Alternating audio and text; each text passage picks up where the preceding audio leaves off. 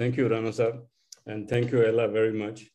Uh, I would like to really dedicate uh, our today's program to Khalid Hamid Faruqi. Uh, it's really choking to talk about him, but uh, such is life. Uh, okay, welcome everyone, and uh, good afternoon.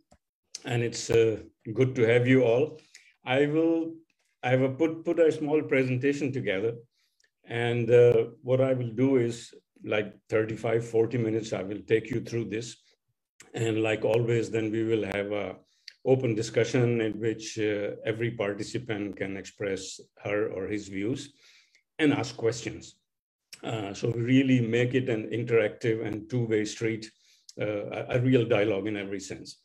Now, at the upfront, I would like to establish that uh, we are against war. We are against the war in Ukraine. It shouldn't have happened. It was a miscalculation.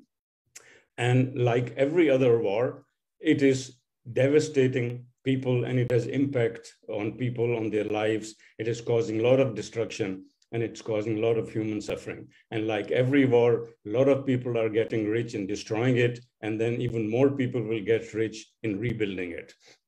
So our objective today is really not to just, just have subjective judgments, but to present an analysis to you, which is based on historical evidence, uh, the reasons and the interests behind the conflict.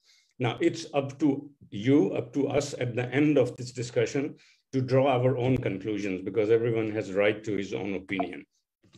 Uh, I would, before I start, would like to just uh, run this very short uh, clip. It is few seconds and it is in German. Uh, it is about uh, uh, Hans Dietrich Genscher, sitting uh, right-hand background. He was the at that time, minister, foreign minister of Germany, and he is with Baker, who was foreign minister of US, and they are talking to the press, guaranteeing that they will not expand NATO towards the east. Here you go. Im Gegenzug zur deutschen Einheit verspricht der Westen, die NATO nicht weiter nach Osten vorrücken zu lassen. In Washington macht der damalige Außenminister weitreichende Zusagen. Wir waren uns einig, dass äh, nicht die Absicht besteht, das NATO-Verteidigungsgebiet auszudehnen nach Osten. Das gilt übrigens nicht nur in Bezug auf die DDR, die wir da nicht einverleiben wollen, sondern das gilt ganz generell. Ein Versprechen von kurzer Lebensdauer. Die ersten osteuropäischen Länder werden in die NATO aufgenommen. Außenministerin Albright strahlt, als sie ihre Kollegen aus Polen, Tschechien und Ungarn im Arm hält. Ein bedrohlicher Griff aus Sicht Moskaus, doch man ist zu schwach, um zu reagieren. So this was just just one of the many evidences, uh, because we are talking about historical evidences. So this is one of the evidences that uh, uh, what West and NATO had promised uh, Soviet Union or Russia at that time. And this is where actually this, this whole misery started, if you wish. But if we look at really the, the, the history of Russia and Ukrainian, Ukraine, it, is, it spans over something like a, a, a thousand years. Uh, but the real unrest uh, started really, uh, uh, ended actually when the Soviet Union was created. So it had a very messy and very uh, unrestful kind of history uh, until the USSR. And uh, we know about uh, Kievan and Rus, which was a governing system in the 10th, 10th century, and that uh, went through until the uh, breakup of the Soviet Union of USSR. And you saw just this clip that the promise, if they break up, there will be no expansion of NATO towards the East. Uh, at the time of breakup, uh, you all will recall that uh, uh Ukraine was the third largest uh, uh, possessor of nuclear weapons, nuclear arms.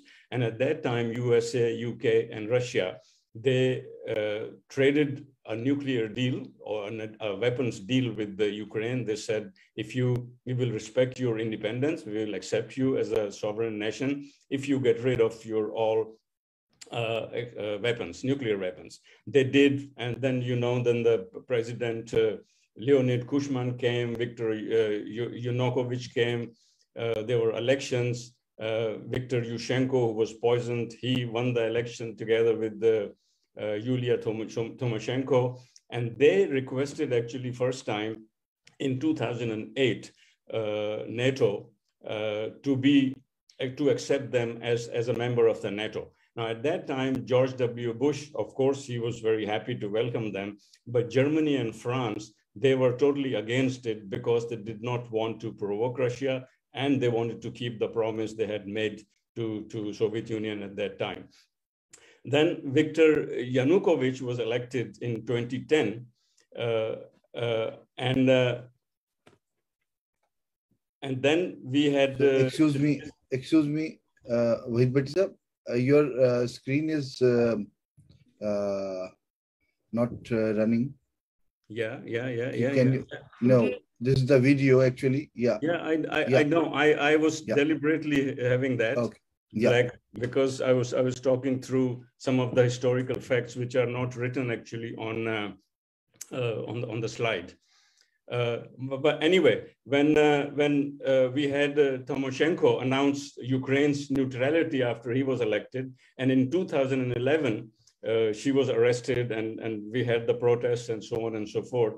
And the real uh, revolution, Maidan revolution, started when Yanukovych refused to sign the 213 deal with the with with European Union. Now I come back to, so I was giving this, this, this history. And this is an, an important point. There is also the support of fascists because when this whole Maidan revolution started, at that time, US was very quick to support all the fascist groups, arm them and train them in, in Ukraine and use their nationalism against Russia. And this was exactly the same kind of repeat as they used the, the Mujahideen in Afghanistan using, using Islam against Soviet Union to disintegrate them because they are godless communists and so on and so forth. Here, the equivalent of Mujahideens were the fascists because they were the people, if you gave them the nationalistic uh, flag, they will go against uh, Russia, against Soviet Union and so on and so forth. So, and this history actually goes back to, to, the, to, to the Second World War, when in, in, in, in 1941, the operation, some of you might recall, Barbarossa was started by the Nazis, and their plan was to conquer Western Soviet, Soviet Union and implement uh, what they called at that time a Lebensraum for the ethnic Germans. And the people who cooperated with them were the Ukrainian upper echelons who were most of them were at that time fascists or, or supporters of supporters of Nazis. And the groups which really who were active now, uh, which played a big role in the Maidan Revolution, it was led by them and supported by the USA. They were like uh, uh, National Corps, Yarosh, the Right Sector, and uh, OUN, which was Organization of uh, Ukrainian Unity. So these were the but now coming back to this, this war uh, and to my slide, it seems if we look at the propaganda and the news, it's essentially a war of propaganda. If we look at this whole discussion now in the press, it looks like that Russia has not attacked Ukraine, which is wrong, but it feels like that it has attacked USA, it has attacked Europe, uh, NATO, pretty much most of the world. And there is a lot of talk about the war of, uh, about uh, war crimes, about mass murder, human rights abuses, crimes against humanity, systematic violence against men, women and children, destruction of hospitals, so on and so forth. But the thing is, this is how the manipulation is done. But all these crimes and many more, they have taken place in every war. Doesn't matter who started that war and who led this war. All these crimes have been, and again, I am not saying two wrongs make one right, or one war is worse than the other, or uh, uh, it's no way trying to justify what Russia is doing, but it is just because NATO and West is taking such a high moral ground and they try to preach the peace and equality and democracy to the world, we have to hold this mirror to them to say, hey guys, listen, this all is happening. Yes, it is all happening in Ukraine, but you guys have done it many, many times before all over the world. Uh, let me move forward. Now, some visual representation of some of the things, I will leave this for just two seconds. Every single picture here speaks volumes and there is no one, nowhere Russia or Soviet Union involved. They are all wars started by the West and the NATO. And this is the kind of situation we have created, but this has all faded away in our memories. It doesn't make to the press anywhere. It, it, nobody talks about them anymore. Now, because this war started, many, uh, uh, some liberal press started making some comparisons. Now, if we compare to uh, just second Iraq war, 665,000 death, death, deaths in a war which was totally based on lies. Death of 1 million children because of sanctions. And the same lady Albright, uh, the foreign secretary just saw it, saw in the video clip, she was asked in an interview that a million Iraqi children have died because of sanctions and lack of medicine and baby food and so on and so forth. She paused for a moment and she said, this is the price we have to pay for democracy. Now, Mrs. Albright, you did not pay this price at all. The 1 million Iraqi babies and children paid that price, not Albright. Uh, and since 2001 alone, the US and its allies have dropped over 337,000 bombs and missiles, which average on 46 per day on nine countries. And this is what Fair Observer has been reporting. As I said, historical evidence reported by the capitalist press, reported by the mainstream media. After the World War II, there have been 248 armed conflicts in the world, and US has started 201, which is 81% of them. And that has caused casualties up until 2015 of 30 million people. Jump to the last point, the lies I talked about Iraq, they talked about the yellow cake versus uranium, all fabricated story, Colin Powell with his test tube at the UNO, and Tony Blair saying that uh, Saddam Hussein is going to attack with chemical weapons on UK within 45 minutes. So this is what we have, we have gone through. And this is war, but in peacetime, American forces in Japan, they are there to keep peace. They are not fighting any war. But if we look at their record, in 2016, a report was published which said five over 5,000 criminal offenses between 72 and 2009. Among them are 25 murders, 385 burglaries, and so on and so forth, including rapes and so on and so forth and not to forget the covert operations, regime changes, target killings, liquidations. And we talk about Philippines, Nicaragua, Chile, Iran. I mean, you name it, there's the list of uh, these countries where these uh, assaults have been created and these crimes have been committed is very, very, very wrong. Then comes the linguistic manipulation if we if west or us or nato starts a war they always use a very very different language or if israel attacks uh, palestinians a very different language is used they always say they, they are there for preservation of human rights they are there to bring freedom and democracy uh, if people die, that's simply collateral damage. We use smart weapons to avoid, avoid casualties. We believe in embedded journalism. We, we are there to liberate oppressed people we want to get rid of dictators, and the dictators are put into governments in the first place by them. Uh, and they always say inter international community against a common enemy. Even if the 100 countries are against that war, they still, these four, five countries or 20 countries, they call themselves international community.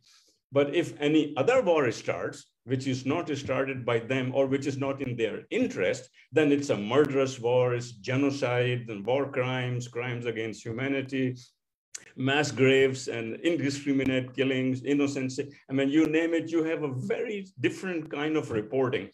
As I mentioned, Palestine, if, if Israel attacks them or they demonstrate the clashes, violations, confrontations, raids, then there is nothing of any other sort. And we all know the stories about Raymond Davis. You might have read his book, Edward Snowden, Chelsea Manning, Julian Assange, how those journalists or, or just common people who have been trying to expose the truth, how they have been treated uh, by, by, the, by these powers. And last but not least, when the refugees come after this war to the West, uh, then if they are coming from the Middle East or Syria or Iraq or Afghanistan, our values are in danger. We should be careful who are we letting in. They are re economic refugees. Look at them. They have iPhones with them. How could they be refugees? And, and but this is the kind of, but when they come from Ukraine, they are one of us. Others are not one of us. Now, it is terrible form of racism to even to differentiate between those people who have run away from whose homes, I mean, total sympathy with Ukrainians who have lost their property, their homes, their loved ones, their, their homes destroyed, their, their lives turned upside down. Absolutely wrong. And we have full sympathy, sympathy with them. But try to compare those in a way like uh, like like my misery or misery of uh, someone because of his color skin is, is is severe or more severe than the uh, some some someone else. Now talking about the agendas behind this one of the agenda obviously was and is to get uh, ukraine so quickly as quick as possible into the uae so they, it is uh, rush, rush, rush. They have been accepted as a candidate. Turkey applied in 1987. Of course, they are not one of us. Uh, so they are still waiting since uh, 1987 to be uh, accepted as the, as the member. They probably never will. And this happened despite the fact that just, just weeks before the war, it's not like 10 years, 20 years ago, just weeks before this uh, uh, Russia attacked Ukraine, uh, end of 19, uh, to 2021, Ukraine was ranked 122nd out of 180 countries on Transparency, Transparency International's Corruption Perception Index, which was second lowest in Europe after Russia. The Heritage Foundation in 2022 Index of Economic Freedom placed Ukraine 44th out of 45 European countries, even below Russia, but just above Belarus. But they, but suddenly they, they qualify to become. Now let's put another perspective to that. Uh, the threats, the armed threats, the, the, the, the, the wars. If we look at the expenditure of 1920, uh, sorry, 2022 of top 10 countries in military expenditures, US alone has spent seven, seven, $778 billion on, on military expenditures. The next nine countries altogether added from China down to number 10, South Korea, they have spent less than the only power in the world, which is 778. And this does not include NATO expenditures, by the way. Now, NATO's 2021 military budget was 1.6 billion plus some other. Uh, and since 2014, it's not the recent number, it's since to US has already, as I said, they have been putting, pouring money in, pouring arms in, pouring military aid and training camps, etc. Uh, that, that all has been happening. And lately, the 13 billion aid package, uh, which was announced end of March, was approved. 6.4 trillion is spent on Afghanistan wars, etc., etc., etc. And rest is our few few statistics. Just to let you know, the last point is important that not Russia, but US has military personnel in 130 nations and 900 overseas bases. And this comes from the, from the trenches, it's a worldwide report. Now here's a visual uh, representation of US bases close to Russia, around Russia, a bit further from Russia. Just, just look at the number of flags and look at, look at, the, look at where America is and where Russia is and where these bases are and how do they surround China, how do they surround uh, uh, Iran, and how do they surround Russia. Uh, then you look at NATO. This is just the US bases, right? And these are, in addition to that, these are the NATO bases. Same story. Now, if you look at this, this picture, now you tell me who is threatening whom. Now, what has NATO become? I was reading an article, it was uh, straight out of it. Uh, it was uh, a very nice analysis that what has NATO become? I mean, NATO, which started actually, which was created to thwart Soviet expansion, and it was supposed to be a defensive, uh, I mean, a, a kind of uh, organization which is going for, in, for self-defense purposes against the Soviet expansion. But it has turned now into the most aggressive and dangerous military alliance on the planet. There is not any single international military alliance of so many countries which is that aggressive and that dangerous on this planet today. If there is one, please name, name it to me and it will enhance my knowledge. uh, arms industry depends it for billions of profits, which is one of the largest profitable industry, which is now running three shifts, 24 hours a day, and still cannot supply enough weapons which are needed by, by Europe, by NATO members, and so on and so forth. As I said, it was created for that purpose. It, and it, it's becoming more dangerous. It's, it plans to add Finland and Sweden. As we all know, you have all read the reports. Sweden, Dr. Stärk spoke about it uh, in an interview and in a talk. And, and then they are talking to Asia Pacific four, and those four are uh, uh South Korea, Australia, New Zealand, and Japan. Now, can you imagine? You just saw these two maps. Now, if they, if you will have NATO uh, joined by Asia Pacific Four, who is this against? Are you going to surround China even more? And how is China going to react about uh, towards that? Is, isn't that provocation? Why is it in your self-defense to go that far? I mean, how does it protect your defenses? Is, is any of those countries uh, from, from Asia going to attack America or Europe? I mean, and then the deal with Erdogan, obviously not only deal with the uh, about refugees, uh, which uh, Europe paid him $4 billion to euros to keep the refugees there and do whatever he wants to do with them. Don't let them come towards, towards Europe because they are not one of us. they are not welcome. but also a deal with him because to vote in support of Sweden to become the member of NATO. So they, he got away with a literally with a murder. Uh, now, this NATO alliance, which, which is so popular these days, has bombed Bosnia, Serbia, Kosovo. None of them attacked any uh, NATO country. They did not attack US. Okay, there were, there were terrible things happening there. That's a separate discussion. I'm not saying that uh, it was an unjustified war. And NATO has been launching wars or has launched wars in Afghanistan, Iraq, Syria, Libya, and again, more over a million deaths and about 38 million people driven from their homes.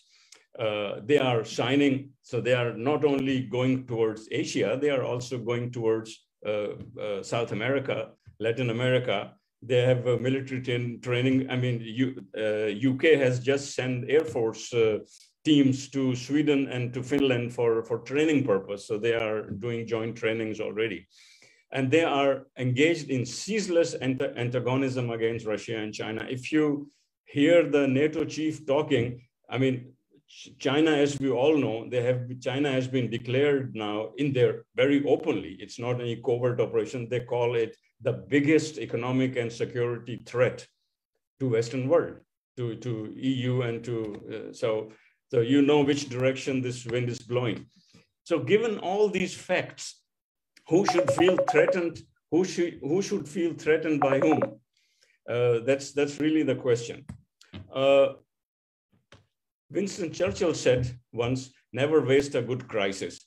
But Milton Friedman, the, the guru of, uh, of neoliberalism, he said it even better. He said, only a crisis, actual or perceived, produces real change. Now, really mark these words. This is a very deep philosophy which is now uh, prevailing across the world. Only a crisis, actual or perceived, doesn't matter it's real or not, produces real change. When that crisis occurs, the actions that are taken depend on the ideas that are lying around. So the agendas are made, the plans are in the drawer. It is not that an accident happens somewhere as it is presented to us and then suddenly quickly people start make plans. No, these these these crises are planned. The how to implement a change after that crisis is planned. And those plans are lying around. That, I believe, is our basic function of neoliberalists, to develop alternatives to existing policies, to keep them alive and available until the politically impossible becomes the politically inevitable. So we see a lot of that, that happening. Let me put it all together just quickly. We do condemn the Ukrainian war. We do sympathize absolutely, and I mean it, with all the atrocities which are happening. But these atrocities, gentlemen, ladies, is not, are not unique to this war. This we should not kind of brush aside like our or Western and NATO histories are so clean that they are really, uh, they just go out to help people and they, they, they have never killed anyone. Uh, the, this war has to be seen in a broader context and a historical per perspective. When this, this started really, it started, if we don't go back too far in the history, but let's start with the fall of Soviet Union, then it started. Those accusing Russia, and we do accuse Russia, but those accusing Russia have committed the same uh, war crimes manyfold in many countries. And no serious uh, efforts or interest in negotiations and ending of war. Do you hear Biden ever talking about ending the war or showing any interest in negotiating? Is just totally macho kind of uh, uh, talk and going for regime change, for total humiliation and uh, uh, finishing them forever. And, and Boris Johnson, a few days ago, when he went to, uh, before he had to resign, went to Ukraine, he, he's, he's standing there in front of destroyed buildings and telling Ukrainians, this is your finest hour. I mean, come on. And this is the golden period for weapons, oil and gas industry. Now, same Biden in 2020, before he was running uh, election, he said no drilling, period, period, period. So he didn't want to have any new drilling for oil. But now, just two years later, he says we will do everything to ensure supply of extra 15 billion cubic meter liquid gas. He said uh, just just um, two months ago, and they call it freedom fuel. There, the pipelines which were stopped and banned, which was going through the the some protected areas, which was destroying the, the, the uh, livelihood of a lot of Native Americans, they are, they are back again. And they are going to have Europe now completely in grip uh, like never before. So, and this war has exposed the cases of racism and discrimination of refugees. Don't need to repeat, you all have heard about the uh, stories about uh, uh, African and Indian students uh, fleeing uh, Ukraine and how they were treated inside Ukraine at the border, at the Polish border, and so on and so forth. The countries who are being neutral or passively taking Russian side, they are being influenced and arm twisted to break ties with Russia. I mean, recently, uh, Antony Blinken said uh, about India, he said, we encourage India to voluntarily disengage from Russia instead of slapping sanctions on New Delhi for buying oil and weapons from Moscow. So, so much is the, I mean, if you are accepting or respecting the, the uh, independence of uh, independent choices of Ukraine, why don't you respect the same for India? No, if you are the same philosophy, you are with us or against us. Uh, NATO is back from the brain dead. I mean, if you remember, uh, uh, Trump said uh, uh, NATO is dead. Uh, the, the French president, Macron, just a few months before the war started, he said it is brain dead. And now they, they have put the, not only its back, but it's going to invest trillions of dollars now uh, into the new weaponry and upgrading there. Sweden and Finland are becoming part of NATO, or at least on the way to become part of NATO. They are talking about expanding NATO towards east, as I talked about, and containing China has become uh, a kind of their, uh, not a kind of, it is their official policy. Now, before we ask questions and we have discussions, I have put myself some questions to ourselves uh, before we go into discussions in the last couple of slides. I mean, first and foremost question is, are the Russian security concerns legitimate? I mean, is, is Putin has been talking nonsense? Should he be accepting all this, the, the, the buildup of uh, NATO along complete border of uh, uh Russia? Uh, and, and if you are living in a, in a multipolar world, or if you really respect the sovereignty of other nations, you have to show some respect of their security concerns as well. So you negotiate, you discuss, and then you say what is mutually acceptable. You don't say, totally ignore uh, security concerns of, uh, of countries you don't like, or uh, you just think, uh, well, that's, that's, that's the way we, we think it should be. Now, other question important to ask is, uh, which has been debated a lot recently, has the West gone back on their promise not to expand NATO towards the East? Was it not now to do that? It, it's a very, very large break of promise. And then in whose interest is it to prolong the war? Of course, Russia wants the, whatever they want to, to occupy more territory. They want to destroy Ukraine. They want to have their security. They have good reasons, bad reasons, right reasons, wrong reasons. But to continue this war the way it is going, in whose interest at the end it is going to be?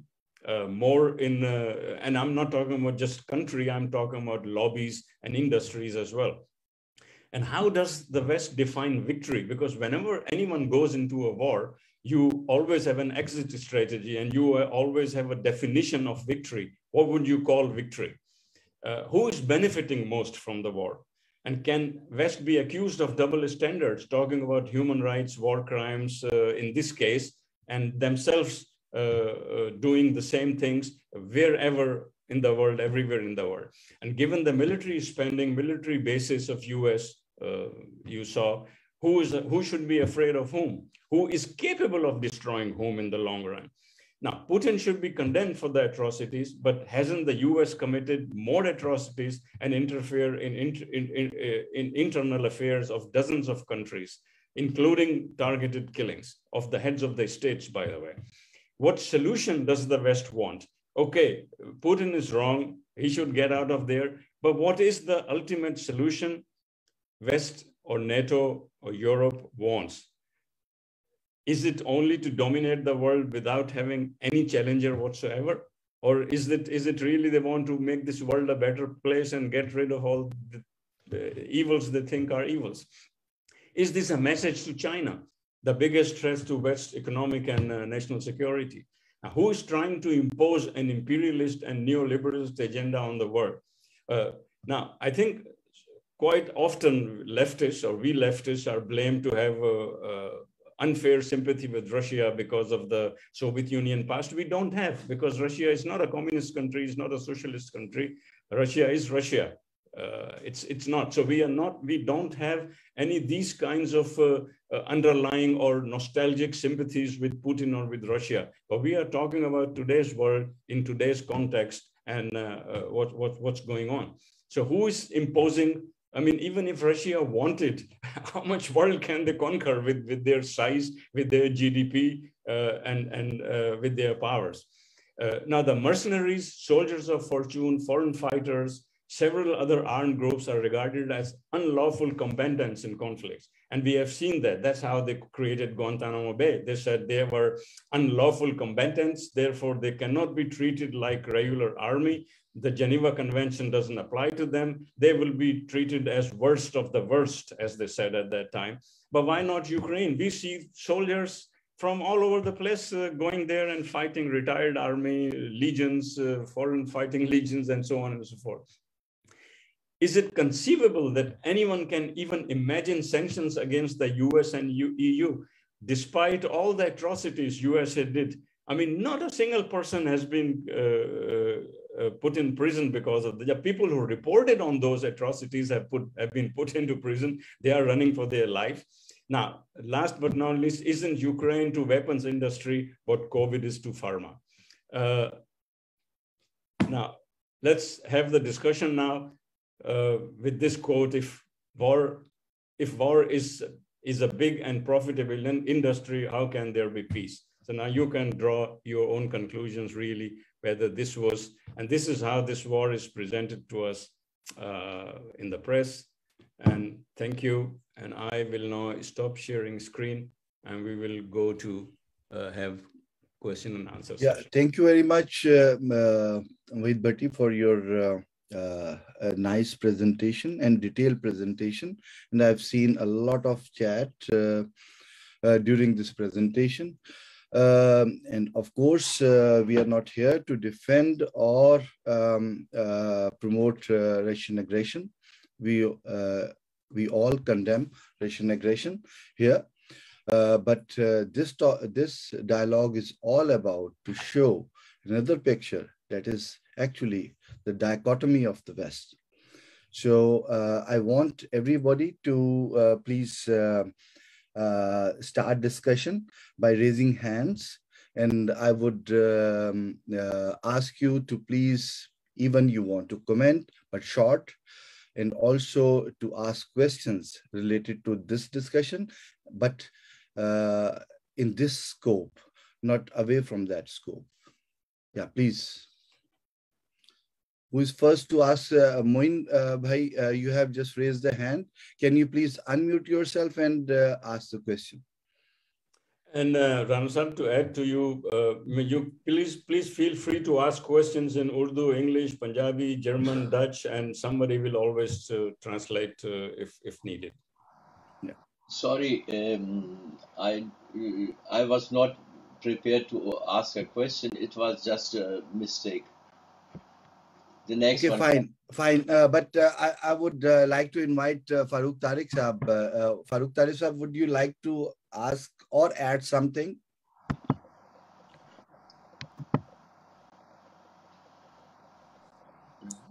Okay, thank you. Uh, Batista, uh, very good presentation in detail, in perspectives.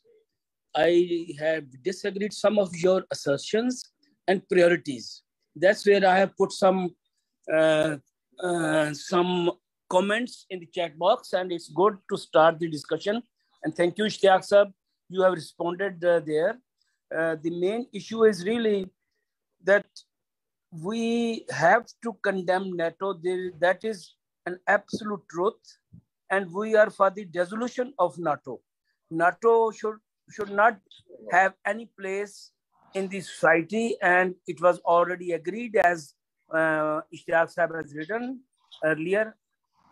But on the other side, are we going to defend, are trying to defend, or gives any justification for Russian aggression on Ukraine? The issue is that Ukraine is under attack. It's not Russia who is under attack. It's not America who is under attack. It's Ukrainian people who are under attack. And we have seen destruction of cities after cities. And we have seen some of the worst scenes in the recent history of a war like this.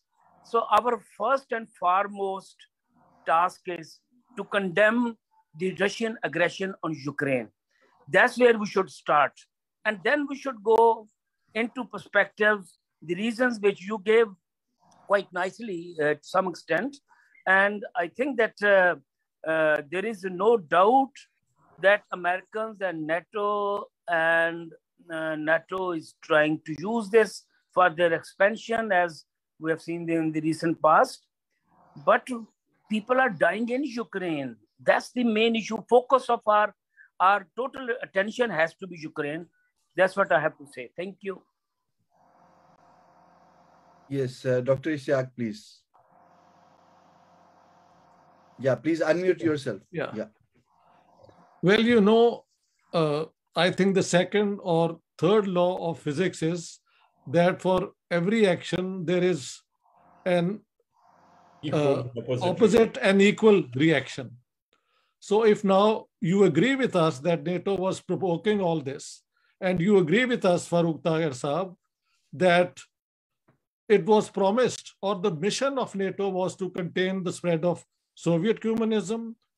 Soviet commun- uh, communism disintegrated, and the earlier promises, as Wahid Bhatti Saab so eloquently presented in the historical sketch, were that NATO's mission is over.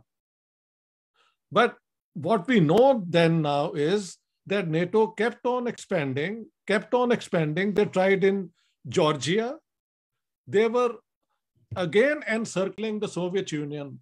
And Farooq Tahir you know that in the Second World War, 27 million Soviet citizens were killed.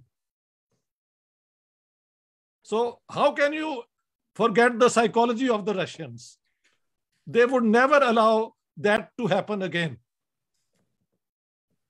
Putin gave many proposals till the very end, saying that we are willing to give assurances that there would be no invasion of, of uh, uh, uh, Ukraine if they are not going to pursue this NATO uh, uh and, and joining the NATO mission. But Zelensky and his lackeys, they kept on provoking. And then what Putin did is what always happens in a war. I think this is what Wahid uh, Bhatti was trying to do when he gave the perspective of what has happened in the Second World War. There is always an opposite and equal reaction, or else Russia would be destroyed once again. They are never going to allow it to happen. War is terrible. Every day, what happens and we see on the screen is heart wrenching, no doubt. But simply being sympathetic is being sentimental. We are here to analyze, and analysis requires detached, uh, uh, you know, treatment of an issue. And therefore, what Putin has done is highly regretful, but we have to understand why this happened. I think I'll end here. Yeah, thank you. Uh, up, please. Uh, let, yeah. me, let me respond. I think uh, I, I think I said uh, quite a few times with uh, pretty clearly that that we are not supporting this war. I think we said uh, upfront that uh, wars are wrong and they are not the means. But here comes a question: What if what if this would have gone for another two or three or five years? Uh, what would have NATO, America, and European Union done to Russia? Where, where all this was going? I mean, if a country takes such a dramatic action uh, uh, step as uh, as Russia has done, again, I'm not justifying. And I think other comment that like we are almost justifying the the Russian atrocities in no, when I say West and NATO and Ukraine, I mean the governments, the establishments, the ruling classes, uh, the people who own the, the, the, means of production. I don't mean the people. The, the, the suffering of, uh, oh man, this, sorry, a call coming into me. The, the, the suffering of the people is absolutely terrible. But, and I talked about also not comparing the wars, but the West is comparing the wars. If you look at, just, just imagine again, Mexico signs a defense pact with China. And China starts making some military bases across the American borders in, I mean, we saw the Cuban crisis. Exactly. Bay of Pigs where did it lead to? Which country in the world which has some self-respect and is and is powerful and big enough will allow this to continuously happen? And, and when Russia was objecting to this piece by piece, people getting into the European Union and those eastern eastwards expansion of, uh, of NATO, they were laughed at. They were humiliated. They said we never made this promise. Show and and the us foreign secretary saying show us the piece of paper. Where did i sign? Where did i promise in writing? You are making all this up. And that's why i have shown this video. It is not made up. They they said that. And and and but they still went back on the on on that promise. So where would have it stopped if this war wouldn't have started? I mean they in in another 3 4 years you, you saw the maps, how many bases, how many, and again, we are not justifying in any way the sufferings of the Ukrainian people. Absolutely not. Those people have nothing to nothing to do with that. But but as I said, I mean, along Mexican borders, you will not accept uh, uh, a pact with China and Chinese forces and bases being wrecked. There will be atomic atomic war in five minutes. Uh, America will not. Uh, so this this is see this this as I said, there's a lot of agenda behind it. It's not only Russia, it's it's China. It's getting NATO back on the feet. It's uh, getting the European Union or the NATO members to start building up their defense forces, uh, buying more ammunition, spending minimum 2% like they were 0.075, uh, they were spending uh, and breaking their own agreements. And they had to, and they had to, and, and you see how uh, euro was coming up as an alternative currency to dollar as well. I mean, lots of countries talking about trading in euro and, and getting rid of dollars. Uh, so that that all had to be brought back into perspective. Europe into control. Europe more in, uh, in, in independent on uh, on, on the US. So it's part of the very large agenda which is happening. And, and uh, I have to, I'm sorry, I have to agree with uh, Dr. Ishtiaq. Uh, to every action, there is equal and opposite reaction. Uh, and and that's that's what it, it has happened. It is bad. It's sad. Uh, I think Putin has miscalculated quite a few things. That's my personal thinking analysis that he never expected West and NATO to react this powerful way. But again, the, the, the propaganda, I give you just one example. One example. On one given day, I mean, for, for, for first couple of months, there was nothing else in the mainstream press in the in the Western media, nothing else except Ukrainian war, and very small, minor stories about the ref, refugees and people coming in. There was a very heart-breaking and and really uh, tear-prompting story about a woman in Ukraine who was fleeing and she lost her seven, eight-year-old son and she found him after three or four hours. And the, the, the tears the hugging scenes and everything it was all over television. And and it's terrible for a mother uh, of seven year old thinking that uh, her son has been killed. The same day maybe around same time in yemen uh, american bomb dropped by saudi arabia killed various children and a mother was looking for the pieces of her child, pieces. And no media reported it. So this is how these emotions are created. And this is how, this is advertising. I mean, this is how they have presented this war to turn this whole emotions of uh, in, in human beings in a way that, that everything should be sympathized. I mean, look at the statements of the foreign ministers of the press of, of, of, of, of uh, very kind of respectable uh, television channels. They are one of us. Oh my God, they are people uh, with blue eyes and white skins and blonde hair. They are not some, some goddamn Middle Eastern people. They are not some Arabs. Uh, from somewhere they are they are one of us we owe them this they should be they should be part of us these are the statements even the head of european union was making these kinds of statements i mean i'm talking about that yeah, let's uh, yeah, Wahid Bhatti let's take uh, other comments and uh, sure. so that you could also um, uh, share the the picture you want to show. So um, uh, first, I would uh, like to ask Zafar because he raised his hand first, and then uh, to Ella, and then David Taylor, David Taylor. So, Zafar, please. Time देने का मैं उर्दू में सवाल करूँगा। Yes, yes, जैसा फारूक तारिक साहब ने कहा कि वहाँ उक्राइन में डिस्ट्रक्शन है और हालात खराब है। मेरा क्वेश्चन यहाँ पे ये है कि हम हमारे पास जो इंफॉर्मेशन आ रही है ये तो सारे वेस्टर्न मीडिया के है। मतलब बीबीसी ये सी एन और ब्ला ब्ला अभी इसमें हम वो जो मेरा क्वेश्चन जो है पहला ये है कि मतलब हमारे पास तो सही इंफॉर्मेशन आ नहीं रहे। क्योंकि हम नहीं देख रहे कि मतलब रशियन जो जो उनके फौजी है वो तो कीट में है ही नहीं वो तो डुम्बास रिपब्लिक्स में है ना। ठीक है पहले ये बात और दूसरी ये कि अगर इस पे बटी साहब कोई कमेंट करे कि हम आ, मतलब जो जो सही सही खबरें हैं उस तक रसाई कैसे मुमकिन है? मतलब अगर हम एक एक, एक तरफ़ से देखें यहाँ पे वेस्टर्न मतलब यहाँ तो इन लोगों ने आरटी को भी बंद कर दिया रशियन टुडे को। और सारे मीडिया जो है यहाँ की मीडिया है तो हम कैसे मतलब वो सच्चाई तक हम कैसे पहुँच सकते हैं? Thank you thank you Zafar Waheed Bhatti साहब।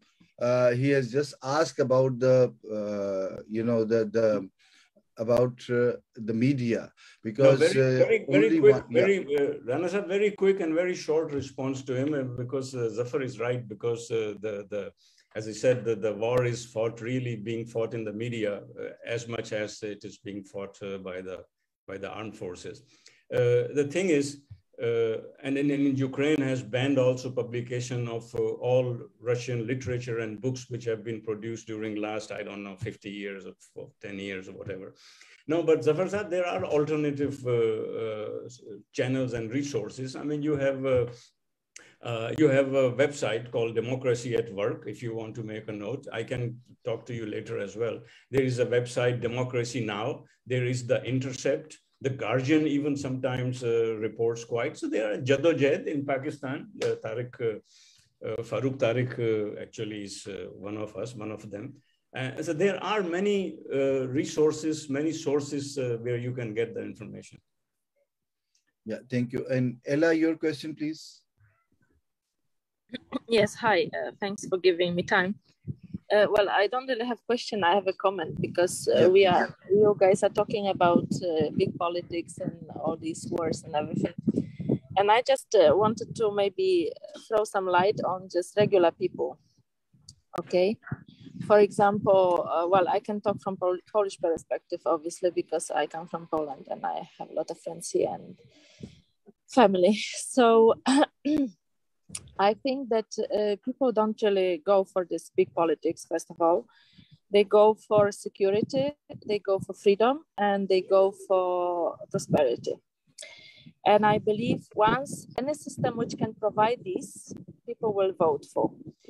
And I'm afraid Russia could not really, or yeah, especially Russia now, the Soviet Union to some extent, they could not provide these things. They they are perceived very of course there's big propaganda also in poland right now but uh, certain things are also true because like you know during i i come let's say i was born in 72 so i was uh, late communist. I was living in poland when it was late communism here.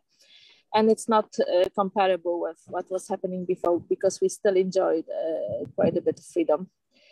Uh, under Gierek and also under, uh, of course, uh, Western European loans and all this but the thing is that that's what people want i tell you from let's say really down again security prosperity and freedom. And if russia cannot provide these things okay people will rebel. Very simple. And if it will be if americans can provide this to some extent people will go for it. And i think that's what's happening also you know, whatever Putin's big politics is, whatever. In fact, they're against because they know that under Russians we did not have much freedom. We did not have. Uh, uh, uh, we did not have, uh, let's say, prosperity and, uh, well, to some extent, security, yes. But yeah, I think people were tired, sick and tired with Russians, and also they are sort of rude and crude, uh, you know, dominance, simply dominance. Okay, I think Americans are doing this a bit more sophisticated way, but still it is more acceptable than what uh, apparently when uh, what Russians were doing.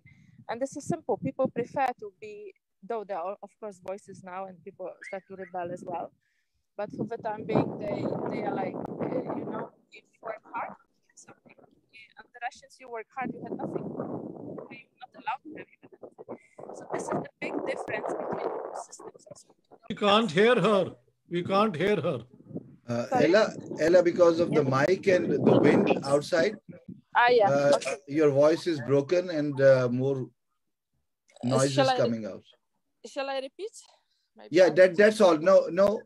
Uh, most of the part we have heard we have heard most of it yeah thank you. Yes so this is what i i you know like from this because okay uh, big politics of course has influence but I tell you people after all have some say okay maybe less in all this but when they get really angry like if i would say if ukrainians did not have perspective now of joining eu of having better life they would not fight. They would simply surrender okay because there's no point. But because they have some perspective they have some hope let's say like poland was in 90s or 80s then they will go for it they will fight for it i believe you know? So that's that's the only thing. So thank you very much. Uh, Dr. Uh, just a minute. Uh, i want to give uh, uh mic yeah. to taylor first huh? then we would uh, come to the uh, to response. Yeah david at taylor. David at taylor i think. Yeah i've heard a lot of nato bashing talk here which accomplishes nothing. It helps no one accomplishes nothing fact, the fact is there is a war. There's a war in Ukraine. Now, you talk about one action becomes uh, equal and opposite reaction. Where is your opposite reaction, your equal opposite reaction to this? Now, Pakistan stands to lose? How much wheat comes from Ukraine to Pakistan? Do your local bakers, are they going to run out of wheat to make their bread? This is something that you haven't even thought about is the global implications of Russia taking over 20% of the world's food. And this affects Pakistan as well as Europe, as well as it doesn't affect the United States, but it affects the people everywhere. And this is something that has not been discussed whatsoever. Now, you can be pro Russian. I don't care. You can be pro Putin. I don't care. But NATO bashing does not help the situation. It does not help the Ukrainian people. Not one bit. Now, another thing is you complain about NATO spending and the arms. Where do you think the money comes from for Pakistan to have an army? It 100% comes from the American government. Don't forget it. Now, I'm not saying hoorah, hoorah, America. I'm, I'm just as much European as anybody else here. But people, you need to put things in perspective. Where does Pakistan get their military? Where do they get their funding? Where do they get their food? And what is going to happen when all of that goes away? And this is the situation the world is facing right now. There's hunger in Africa. Where do they get their wheat from? They get it from the Ukraine. People, bakers in, in Kenya are worried about how are they going to make more bread. People in, in all over Africa are wondering where does the wheat come from so we can make bread. This is what the people depend on. And it's not going to happen by sitting here bashing NATO. NATO has a, a commitment to, for free trade and opening up the routes of trade. And Russia is standing against that right now. You can say all you want to about treaties and what have you, but the treaty that established the present Ukraine, signed in 1993 by the Soviet Union and later the Russian Republic, said that Ukraine would be hands off, free to do what they wanted to do. And that has been violated by Russia today. Putin has stated publicly that he wants to retake all of Eastern Europe, including East Germany, which is not going to happen. But that is his goal, and he has stated that publicly. Now, where does that put Pakistan? Where does that put the rest of the world when we go back for 50 years to what it was during the Soviet time? That is something that I haven't seen discussed or even thought about here. So I'm not saying right, wrong. I'm saying Russia is wrong right now, and we all, including myself, need to do some more homework. Thank you, uh, Taylor. Yeah, uh, Wahid Bhatti sir, and then uh, I would come to Ishtiaq Ahmed sir.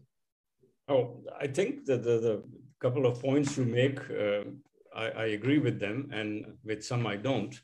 Uh, I mean, Pakistan wasn't part of the scope today of the discussion, and uh, otherwise we would have mentioned that. Uh, and uh, of course, everyone knows that's what Pakistan army does and where their their their support and money comes from and so on and so forth.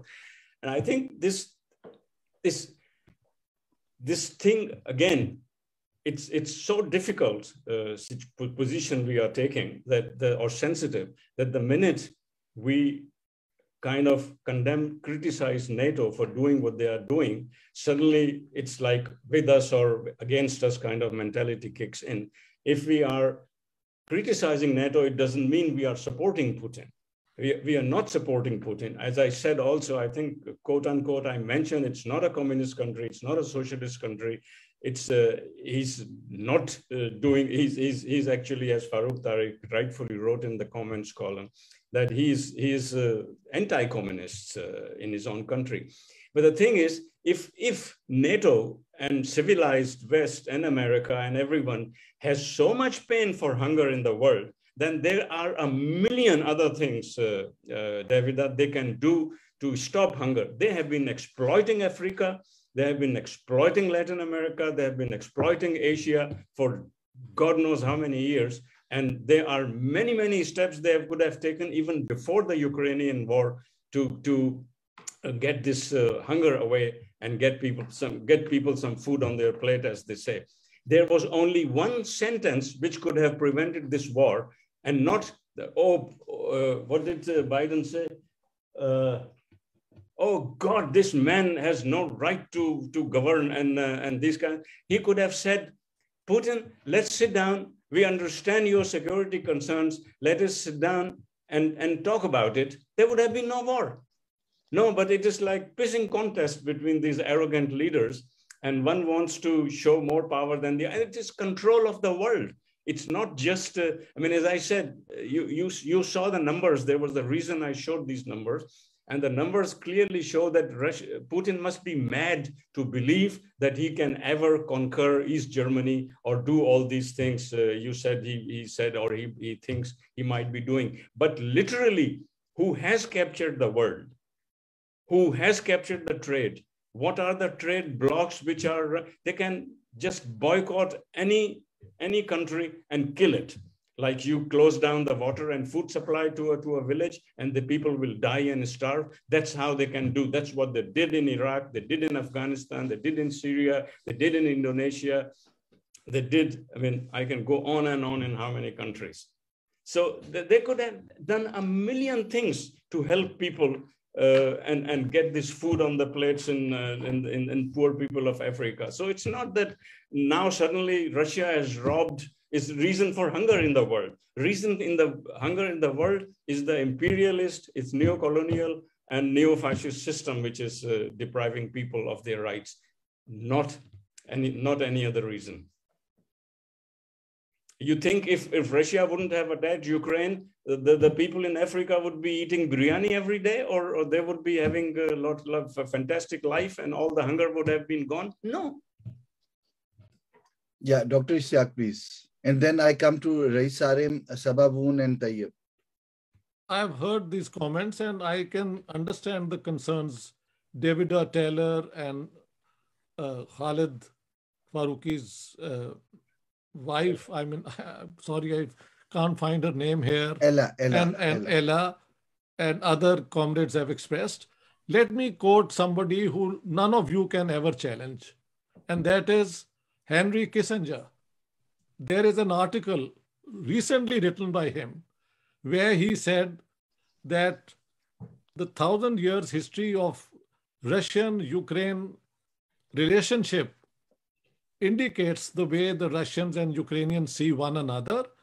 And he said the solution is that Ukraine should not aim at joining NATO. On the other hand, it can negotiate joining the European Union.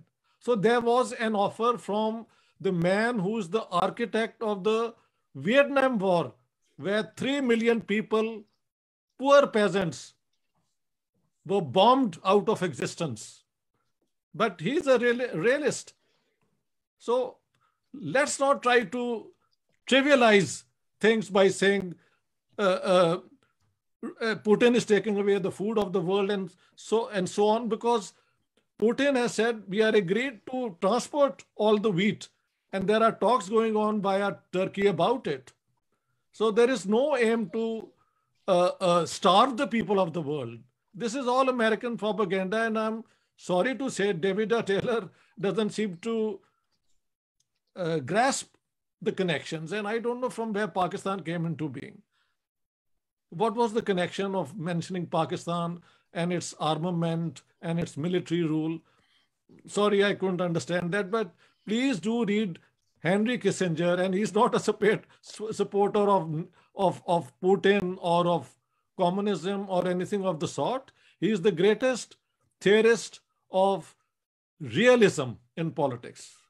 And he says for Ukraine, the proper order is to not join NATO, but try to negotiate that they can be member of the European Union. And I think that is how peace will be established. Thank you very much.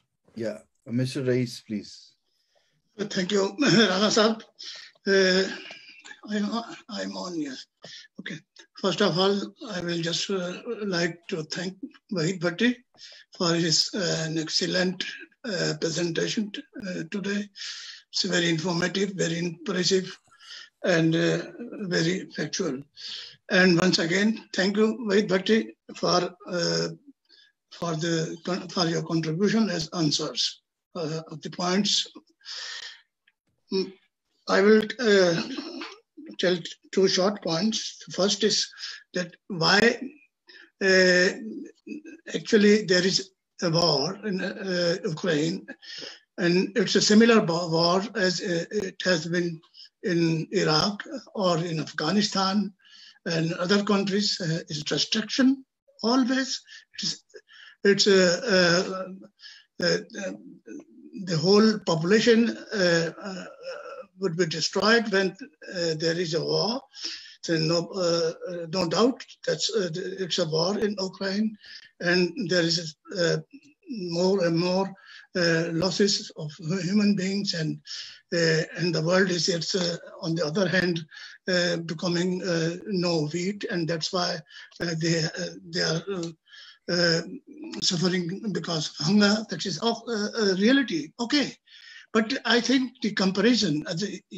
I live in Germany, and I see in mainstream the whole day long there are uh, pictures uh, for uh, a country there is a war, going on uh, and uh, with every detail and then I have uh, pictures in my head 2003 when there was a war in Iraq 650,000 people have been died there and uh, nobody have uh, seen detailed pictures because uh, it was manipulated.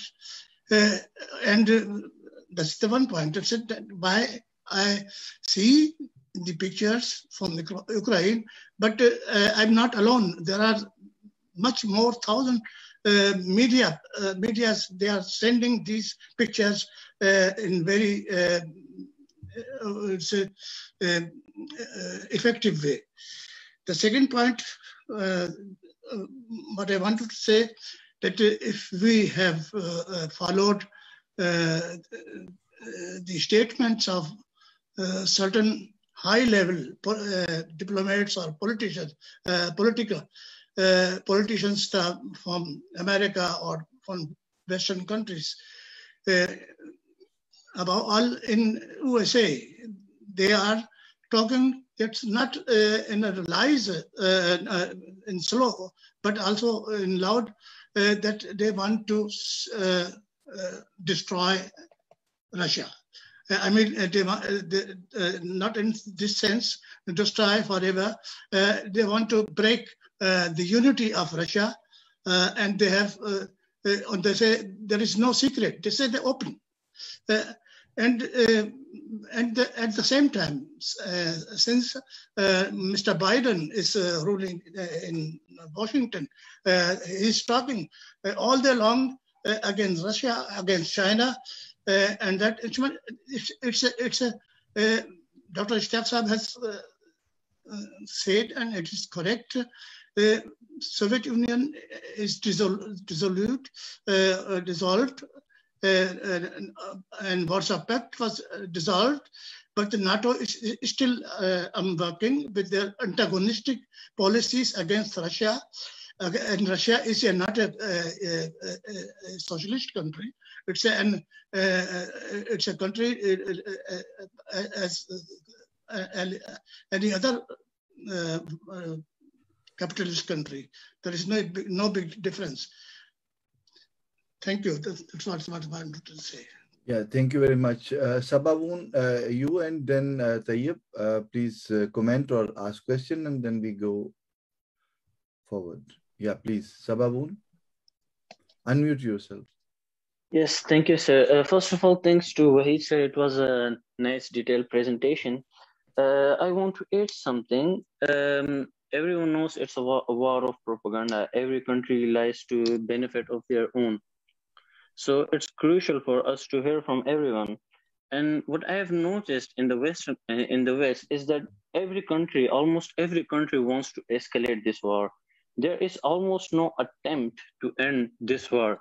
So my question is, uh, uh, what is the best solution to this war? Is the uh, is the abolition of uh, NATO uh, the best solution for this? And um, the other thing what i want to talk about is the sanctions on russia because uh, in the news uh, and uh, i uh, noticed it here in the west countries that uh, these sanctions are not putting any um, how do you say it any solution to the uh, to this war and I heard some people are talking about people. These sanctions are uh, pouring the people of West countries, and uh, these sanctions are not doing anything to end uh, the war in, in in Ukraine. And last, I want to thank the OPP to for organizing this this event. It gives us a good platform to discuss these types of topics. Thank you, sir. Thank you, Sabawun. Uh, we come to your point. Uh, we um, ask uh, your question uh, from our speakers and other participants as well. But first, I want to take uh, a question from Tayyib. Tayyib, please. Yeah, unmute yourself, please, Tayyib. And I'm here. Please go ahead. Yeah, Tayyib, please. Did you call me or someone else? No, no, no, no. I, I called Tayyab, not Taylor you. Okay. Yeah. Sorry, sorry, uh, sorry. Yeah. It's all right. Okay. Um, first of all, thank you very much uh, to all the participants and uh, especially to Wahid. Uh, I always say I couldn't have done it in three three lives, so so much appreciated. Um, my just comment is that all the governments, especially Western governments, they are puppets, okay?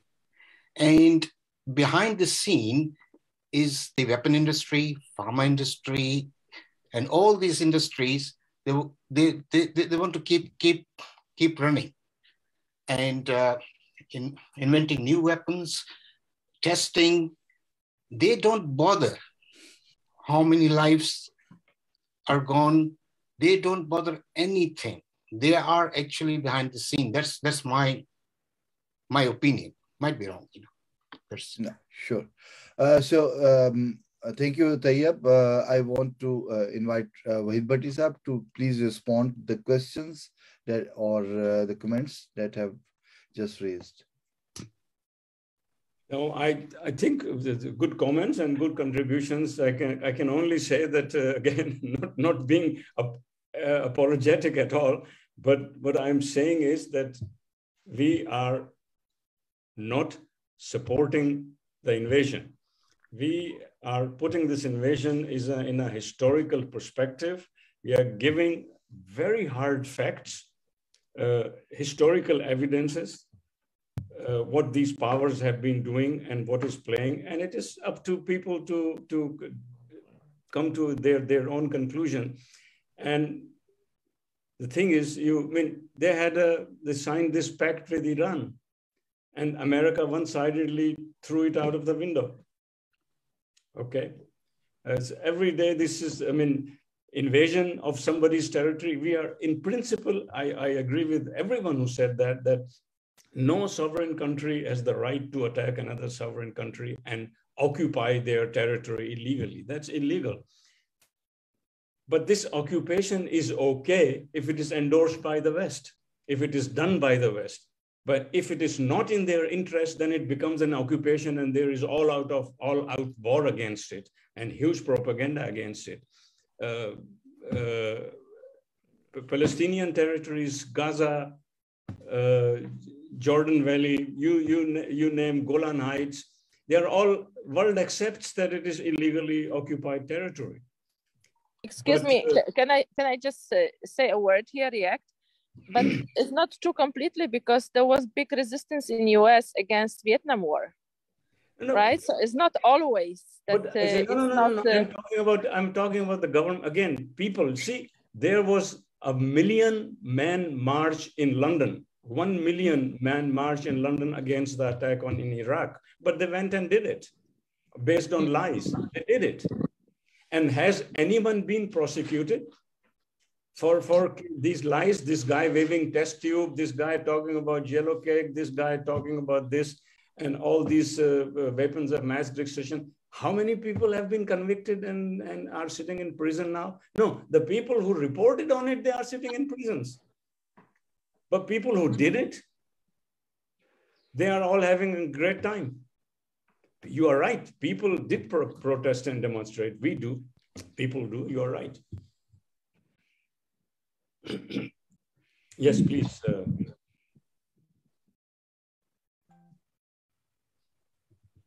carry on. Next one. Anyone else with question?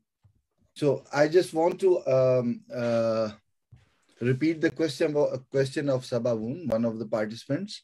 Yeah. Uh, he, he, he asked about the solution.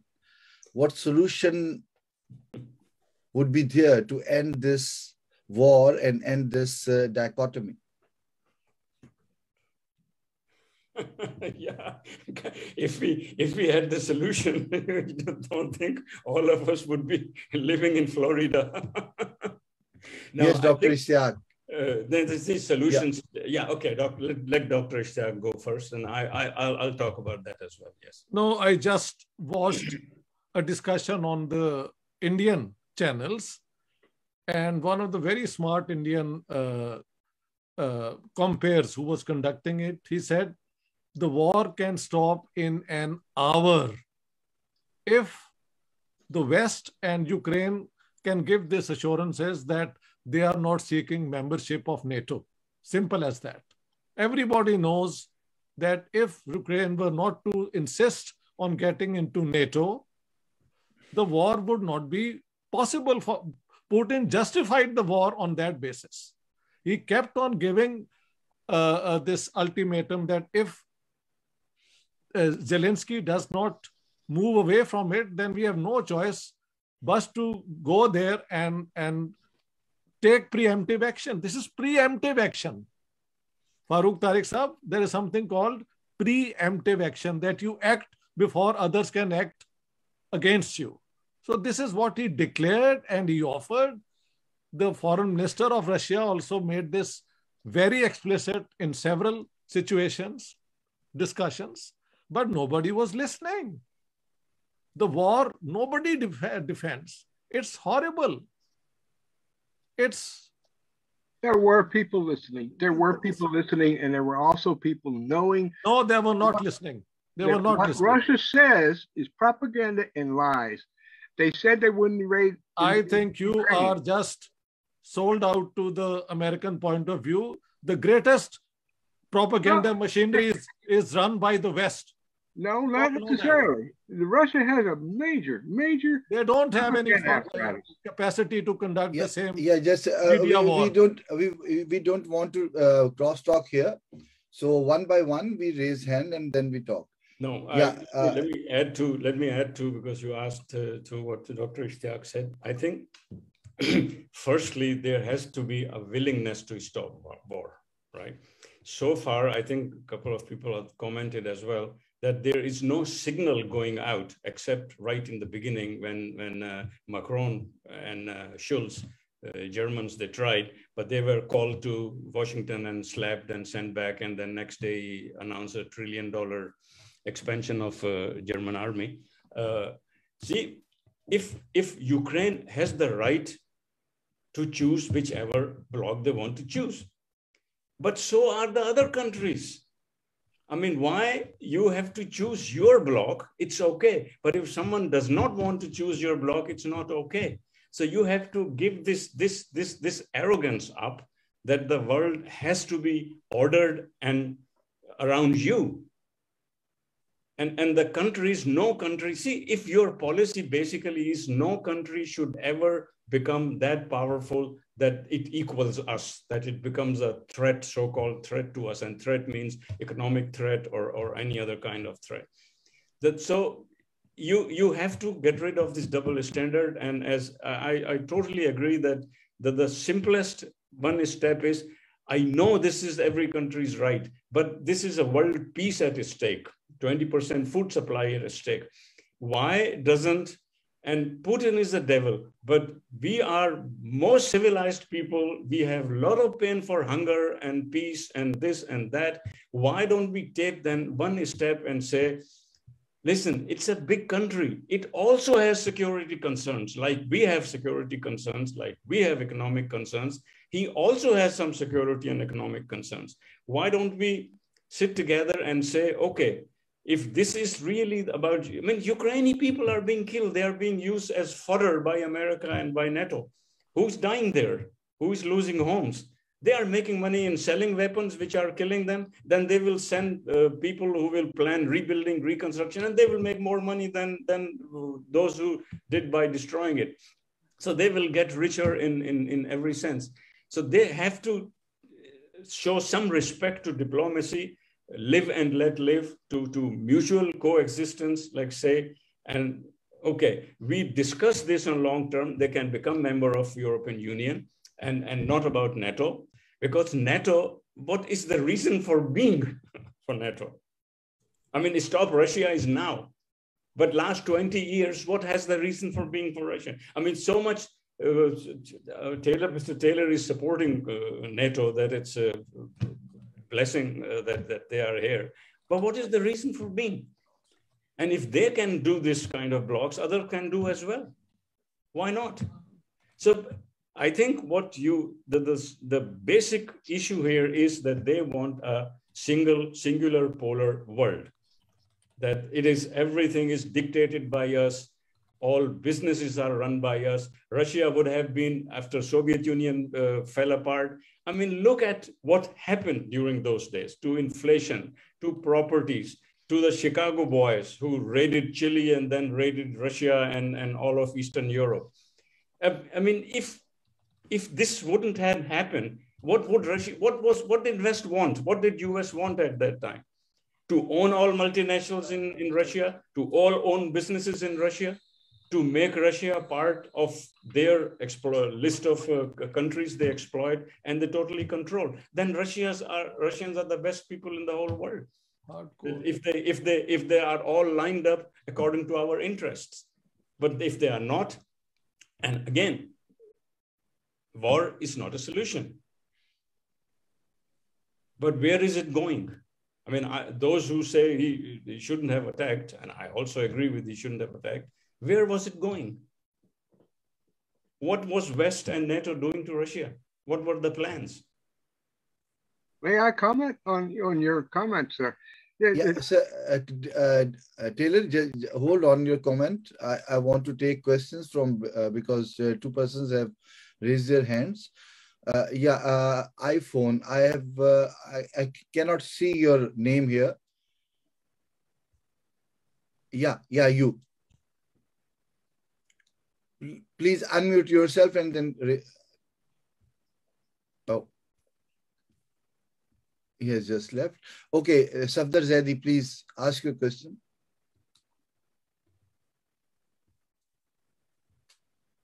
First of all, thank you to all participants. Uh, I want to add two things. Uh, this uh, war stage at Ukraine is not only a battlefield, but it's kind of marketplace. Uh, NATO or allied, they are trying to sell their high-tech weapons to the world. They are showing their performance. For example, a game-changing weapon, uh, anti-tank uh, missile, so tanks are tanks industry is in turmoil. So tanks tanks are helpless. They are not usable. So they are marketing their anti-tank missile to the whole world. Actually, it's a billion, trillion dollar business. And secondly, uh, for example, in Netherlands, we had a, a huge uh, lobby lobby against nuclear uh, reactors, nuclear power generation. But recently, Dutch government has decided to to start two new power generation, uh, nuclear power generation. Um, they will produce uh, a lot of energy because they are using uh, uh the reason of Russian blackmailing of gas supply. So the world is going against to era of uh, nuclear uh, production, nuclear energy production. So these are some consequences of this war, which are uh, really uh, against humanity. This was my uh, addition. Thank you. And Maria, Maria Lucas, please ask, uh, please unmute yourself. Yes, uh, thank you. First of all, uh, thank you for organizing this uh, this platform. I'm very happy to be amongst you and discuss this, uh, and especially as tribute to Khalid um, I think this is very good that you postponed the meeting and organized it in this way. Thank you for that. Um, I, I, want to, uh, well, it's, it's a comment or to add something to the, the discussion. I was working until March in uh, Kiev, in uh, Ukraine, and uh, waiting for Khalid to join me. He, he said he would join me there and I uh, I was protesting uh, at, at, the same uh, the same way as uh, as Ella protested uh, for his coming because of security, etc. But um, at the same time, I I knew it was important that a, a, reporter like him would be there because the confusion the the the situation on the ground was very confusing. I was working there. Um, in the, the OSCE, the Organization of Security and Cooperation in Europe, and that means that I also was working with Russians, with Belarusians, with uh, people from Kyrgyzstan, uh, etc. And uh, but unfortunately, we had to be, you know, had to close down the mission and be evacuated in uh, in um, in March. What happens now is that this organization, which was in fact a civilian multinational, um, yeah, multinational organization, is now um, uh, is now closed. And what what is now uh, is that uh, Europeans are now back in uh, Ukraine, uh, but this is a European this is a European mission which has a military component. And this is what I want to uh, add to your discussion because now it seems as if there is Europe and there's NATO and there's Russia, but it is more uh, it's a more sophisticated mixed situation there. So Europeans are there in a mission on the ground, but there's a military component there. So it it it is not uh, um, Europe and NATO is not as as as uh, uh, um, separated as it seems in your discussion, and this is my worry uh, that what is in fact happening there? What does it mean that there's a military component to the European mission on, on the ground? Um, so this is an open question. I'm just still thinking about what is the situation there in, in uh, you, know, how to, how to continue. And so it is, I agree with Mr. Istiar that we must say NATO is, you know, um, uh, Ukraine, it would be already very good that if we could say NATO must not expand further. But I fear this is already a past station. You know, it's already too late to say this. That's that's so that we have to see what and what other strategies to to follow to develop in in this geopolitical uh, context. Uh, and one other point I want to add is that um, it is it must also be really acknowledged that Russia is not alone in the whole world. We look uh, mostly to the West, but see at see at what is happening with a lot of, for example, African nations. Why they support Russia? They they uh, in a way they don't deny denounce uh, Russia, but so um, I, I think if we look uh, geopolitically and we and internationally, we must not only look at the West. We must take along also other nation states, especially in Africa, which also have uh, are at stake. Um, well, and then then just to, to to finalize my comment, I also feel uh, you know uh, uh there's no protest like we had in the in the Vietnam protests and in the uh, and, and you know Iraq protests. But I also don't. I would like to organize a protest, but with with what slogan? That's you know what that is the point. Where to go? What what is the what is the future? But uh, thanks for giving all the thoughts and all the discussions uh, today. Thank you. Yeah. Uh, uh, iPhone. Yeah, please. Unmute yourself. Unmute करो. Un... hello hello आ रही है ये बात या जी जी जी जी yes ਮੈਂ Urdu Punjabi mix ਜੇ ਚ ਗੱਲ ਕਰ ਕਰੂੰਗਾ ਜੀ ਜੀ ਤੁਸੀਂ ਪੰਜਾਬੀ ਦੇ ਨਾਲ ਪੰਜਾਬੀ ਚ ਗੱਲ ਕਰ ਲਓ ਵੀ ਕੈਨ ਟ੍ਰਾਂਸਲੇਟ ਹਾਂਜੀ ਹਾਂਜੀ ਤੇ ਪਹਿਲੀ ਗੱਲ ਤਾਂ ਇਹ ਆ ਬਈ ਜੋ ਯੂਕਰੇਨ ਦੇ ਵਿੱਚ ਹੋ ਰਿਹਾ। ਉਹਦੇ ਬਾਰੇ ਬੜੀ ਸੋਹਣੀ, ਚਲੋ ਪ੍ਰੈਜੈਂਟੇਸ਼ਨ ਇਹਨਾਂ ਨੇ ਵਹੀਦ ਹੋਣਾ ਨੇ ਕੀਤੀ ਆ, ਠੀਕ ਆ, ਵਧੀਆ ਤੇ ਲੇਕਿਨ ਉਹਦੇ ਵਿੱਚ ਸਫ਼ਰ ਜਿਹੜੇ ਕਰ ਰਹੇ ਆ, ਉੱਥੇ ਦੇ ਕੁਝ ਲੋਕ, ਜਨਾਨੀਆਂ, ਬੱਚੇ ਜ਼ਿਆਦਾ ਸਫ਼ਰ ਕਰ ਰਹੇ ਆ ਔਰ ਜੋ ਜੋ ਖਬਰਾਂ ਆ ਰਹੀਆਂ, ਮੈਂ ਆਪਣੇ ਇੱਧਰ ਗਵਾਂਢ ਚੋਂ, ਕੈਨੇਡਾ ਚੋਂ ਵੀ ਦੇਖ ਰਿਹਾ, ਬਹੁਤ ਮਾੜੀਆਂ ਖਬਰਾਂ ਆ ਰਹੀਆਂ। ਤੇ ਉਹ ਤਾਂ ਸਿੰਪਥੀ ਸਾਡੀ ਹੈਗੀ ਆ ਸਾਰਿਆਂ ਦੀ ਉਹਨਾਂ ਦੇ ਨਾਲ। ਲੇਕਿਨ ਗੱਲ ਤਾਂ ਇਹ ਆ ਵੀ ਜੇ ਉਹਨੂੰ ਅਟੈਕ ਕੀਤਾ ਕੀਤਾ ਕਿਉਂ ਗਿਆ, ਉਹ ਆ ਗਿਆ ਪ੍ਰੈਜੈਂਟੇਸ਼ਨ ਦੇ ਵਿੱਚ, ਪਰ ਗੱਲ ਤਾਂ ਇਹ ਆ ਵੀ ਹੁਣ ਜਾ ਕਿਸੇ ਨੂੰ ਕੋਈ ਉਕਸਾਈ ਜਾਊਗਾ ਕਿ ਅਸੀਂ ਤੇਰੇ, ਤੈਨੂੰ ਦਬਾਉਣਾ ਹੀ ਆ ਕਿਸੇ ਨਾ ਕਿਸੇ ਤਰੀਕੇ ਨਾਲ, ਤਾਂ ਫਿਰ ਉਹ ਬੰਦਾ ਕਰੂਗਾ ਕੀ? ਉਹ ਪੋਪ ਨੇ ਵੀ ਦੋ ਵਾਰ ਕਿਹਾ ਕਿ ਇਹ ਨਾਟੋ ਦੇ ਵਿਸਥਾਰ ਕਰ ਕਰਕੇ ਹੀ ਇਹ ਲੜਾਈ ਜਿਹੜੀ ਸ਼ੁਰੂ ਹੋਈ ਆ, ਇਹਨੂੰ ਬੰਦ ਕਰਾਉਣਾ ਚਾਹੀਦਾ। ਉਹਦੀ ਵੀ ਗੱਲ ਇਹਨਾਂ ਨੇ ਨਹੀਂ ਮੰਨੀ, ਹਾਲਾਂਕਿ ਇਹਦਾ ਪੋਪ ਦਾ ਬਹੁਤ ਰਿਗਾਰਡ ਕਰਦੇ ਆ ਸਾਰੇ। ਲੇਕਿਨ ਉਹਦੀ ਗੱਲ ਨਹੀਂ ਮੰਨੀ, ਉਹਨੂੰ ਵਿਚਾਰੇ ਨੂੰ ਚੁੱਪ ਕਰਨਾ ਪੈ ਗਿਆ। ਪਤਾ ਨਹੀਂ ਇਹਨਾਂ ਨੇ ਕਰਾਤਾ ਜਾਂ ਉਹਨੇ ਇਸ ਕਰਕੇ ਚੁੱਪ ਕਰ ਗਿਆ ਭਈ, ਹੁਣ ਮੇਰੀ ਤਾਂ ਸੁਣਦੇ ਨਹੀਂ ਇਹ।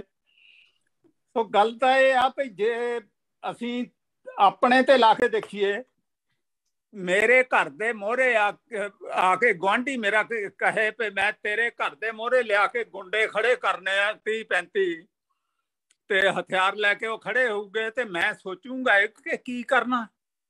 ਮੈਂ ਦੋ ਚਾਰ ਵਾਰ ਗਵਾਂਢੀ ਨੂੰ ਪਿਆਰ ਨਾਲ, ਮਿਹਨਤ ਨਾਲ ਵੀ ਕਹੂੰਗਾ ਭਈ ਤੂੰ ਜਾਣ ਦੇ ਨਾ ਇਦਾਂ ਕਰ।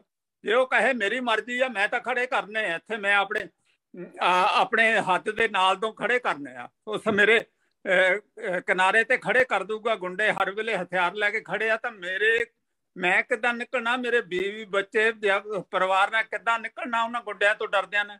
ਫਿਰ ਮੈਂ ਇਹੀ ਕਰੂੰਗਾ ਹਰ ਹਾਰ ਕੇ। ਗੁੰਡਿਆਂ ਨਾਲ ਤਾਂ ਮੈਂ ਕੱਲਿਆਂ ਨਾਲ ਪਹਿਲਾਂ ਲੜ ਨਹੀਂ ਸਕਦਾ। ਪਹਿਲਾਂ ਤਾਂ ਫੇ ਇਹੀ ਆ ਵੀ ਡਾਂਗ ਭਰਾਉਂਗਾ ਗਵਾਂਢੀ ਦੇ ਗਵਾਂਢੀ ਦੇ ਡਾਂਗ ਭਰਾਉਣੀ ਪੈਣੀ ਮੈਨੂੰ ਜਿਹੜਾ ਲਿਆ ਕੇ ਖੜੇ ਕਰਦਾ ਹੁਣ ਦੂਜਿਆਂ ਨੂੰ ਹੁਣ ਉਹ ਇਸੇ ਕਰਕੇ ਰਸ਼ੀਆ ਨੇ ਉਹਦੇ ਤੇ ਹਮਲਾ ਕੀਤਾ ਤੇ ਉਹਨੂੰ ਉਕਸਾਇਆ ਗਿਆ ਤੇ ਹੁਣ ਜੇ ਅਸੀਂ ਕਹੀਏ ਕੰਡੈਮ ਕਰਦੇ ਹਾਂ ਕੰਡੈਮ ਮੈਂ ਮੇਰੀ رائے ਤੁਹਾਡੇ ਨਾਲ ਡਿਫਰੈਂਸ ਹੋ ਸਕਦੀ ਆ ਮੈਂ ਇਹਨੂੰ ਕੰਡੈਮ ਨਹੀਂ ਕਰਦਾ ਕਿਉਂਕਿ ਉਹਨੂੰ ਉਕਸਾਇਆ ਗਿਆ ਜਦੋਂ ਜਾ ਜਾ ਕੇ ਉਹਦੇ ਗਵਾਂਢ 'ਚ ਖੜ ਕੇ ਕਹਿੰਦੇ ਅਸੀਂ ਉਹਨੂੰ ਮੈਂਬਰ ਬਣਾਉਣਾ ਤੇ ਉੱਥੇ ਲਾਜ਼ਮੀ ਹੈ ਵੀ ਮਜ਼ਾਈਲਾਂ ਉਹਦੇ ਵੱਲ ਨੂੰ ਤਾਨਣੀਆਂ ਇਹਨਾਂ ਨੇ, ਹੋਰ ਕੀ ਕਰਨਾ? ਤੇ ਇਸ ਕਰਕੇ ਉਹਨਾਂ ਨੇ ਉੱਤੇ ਹਮਲਾ ਕੀਤਾ। ਇਹ ਠੀਕ ਆ ਭਈ ਆਮ ਲੋਕਾਂ ਨੂੰ ਉਹਦੇ ਸਫਰ ਕਰਨਾ ਪੈ ਰਿਹਾ ਤੇ ਉਹ ਉਹ ਮਾੜੀ ਗੱਲ ਆ। ਲੇਕਿਨ ਇਹ ਇਹ ਸਭ ਦਾ ਜ਼ਿੰਮੇਵਾਰ ਤਾਂ ਜਾਂ ਜ਼ੈਲੈਂਸਕੀ ਆ, ਜਾਂ ਇਹ ਨਾਟੋ ਦੇ ਜਿਹੜੇ 25 30 ਬਦਮਾਸ਼ ਇਕੱਠੇ ਹੋਏ ਆ। ਇਹਨਾਂ ਨੇ ਉਹਨੂੰ ਉਕਸਾਇਆ ਕੋਈ ਇਹ ਕਰਨ ਲਈ, ਹਮਲਾ ਕਰਨ ਵਾਸਤੇ? ਉਹਦੇ ਕੋਲ ਹੋਰ ਕੋਈ ਚਾਰਾ ਹੀ ਨਹੀਂ ਸੀ। ਫਿਰ ਹੁਣ ਇਹੀ ਰਲ ਕੇ ਉੱਥੇ ਰੌਲਾ ਪਾਈ ਜਾਂਦੇ ਆ ਕੁਝ ਹੋਰ। ਇੱਥੇ ਜੀ ਹਿਊਮਨ ਰਾਈਟ ਹੋ ਇਦਾਂ ਹੋ ਗਿਆ, ਫਲਾਨਾ ਟਿਕਾਣਾ ਆਪੇ ਯਮਨ ਚ ਕੀ ਕਰਦੇ ਆ? ਉੱਥੇ ਨਹੀਂ ਹਿਊਮਨ ਰਾਈਟਸ ਇਹਨਾਂ ਨੂੰ ਦੇਖਦੇ। ਉੱਥੇ ਗਰੀਬ ਲੋਕਾਂ ਨੂੰ ਮਾਰਨ ਦਾ ਉਹ ਸਾਰੇ ਕੁਝ ਹੋ। ਰਿਹਾ ਗੱਲ ਸਿਰਫ ਆ ਇਹ ਗੁੰਡੇ ਚੌਧਰੀ ਜੋ ਆਪਣੇ ਪਿੰਡਾਂ 'ਚ ਪਹਿਲਾਂ ਹੁੰਦਾ ਸੀਗਾ, ਜਿਹੜੇ ਚੌਧਰੀ ਗੁੰਡੇ ਹੁੰਦੇ ਸੀਗੇ ਨਾ, ਉਹ ਮਾੜੇ ਲੋਕਾਂ ਨੂੰ ਦਬਾਉਂਦੇ ਰਹਿੰਦੇ ਸੀ। ਇਸੇ ਤਰ੍ਹਾਂ ਇਹ ਵੀ ਹੁਣ ਕੋਸ਼ਿਸ਼ ਕਰਦੇ ਆ ਕਿ ਜਿਹੜਾ ਕੋਈ ਸਾਡੇ ਮੁਕਾਬਲੇ ਤੇ ਖੜਨ ਨੂੰ ਕੋਸ਼ਿਸ਼ ਕਰਦਾ, ਉਹਨੂੰ ਅਸੀਂ ਦਬਾਈਏ।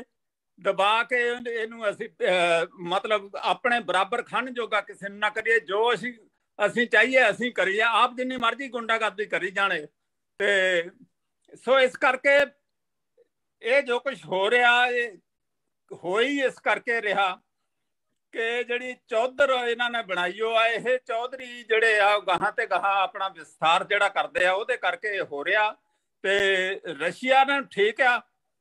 ਉਹ ਅਸੀਂ ਕਹਿ ਸਕਦੇ ਆ ਭਈ ਉਹ ਜੀ ਲੋਕਾਂ ਤੇ ਜ਼ੁਲਮ ਕਰਦਾ, ਪਰ ਉਹ ਕਰੇ ਕੀ? ਜੇ ਲੋਕਾਂ ਤੇ ਜ਼ੁਲਮ ਨਾ ਕਰੇ ਉਹ ਫੇ ਆਪ ਦਬ ਕੇ ਰਹੇ ਇਹਨਾਂ ਤੋਂ ਪਿੱਛੇ ਹਟ ਜਾਵੇ ਤੇ ਇਹ ਲਿਜਾ ਕੇ ਮਜ਼ਾਈਲਾਂ ਉਹਦੇ ਬਾਰਡਰ ਤੇ ਖੜੀਆਂ ਕਰ ਦੇਣਗੇ ਯਾ ਥੈਂਕ ਯੂ ਭਾਈ ਜੀ ਤੁਹਾਡਾ ਨਾਂ ਕੀ ਜੇ ਨਾਂ ਦੱਸ ਦਿਆ ਜੀ ਤਾਂ ਕਿ ਤੁਹਾਨੂੰ ਅੱਛਾ ਜੀ Pritam ji I want to ask doctor Ishaq please translate summarize his talk or comment also and then uh, please your comments Dr. Ishaq, please unmute yourself. Unmute, uh, Dr. Ishtiaq, unmute yourself. Yeah. First, please translate his comments, Preetham's comments.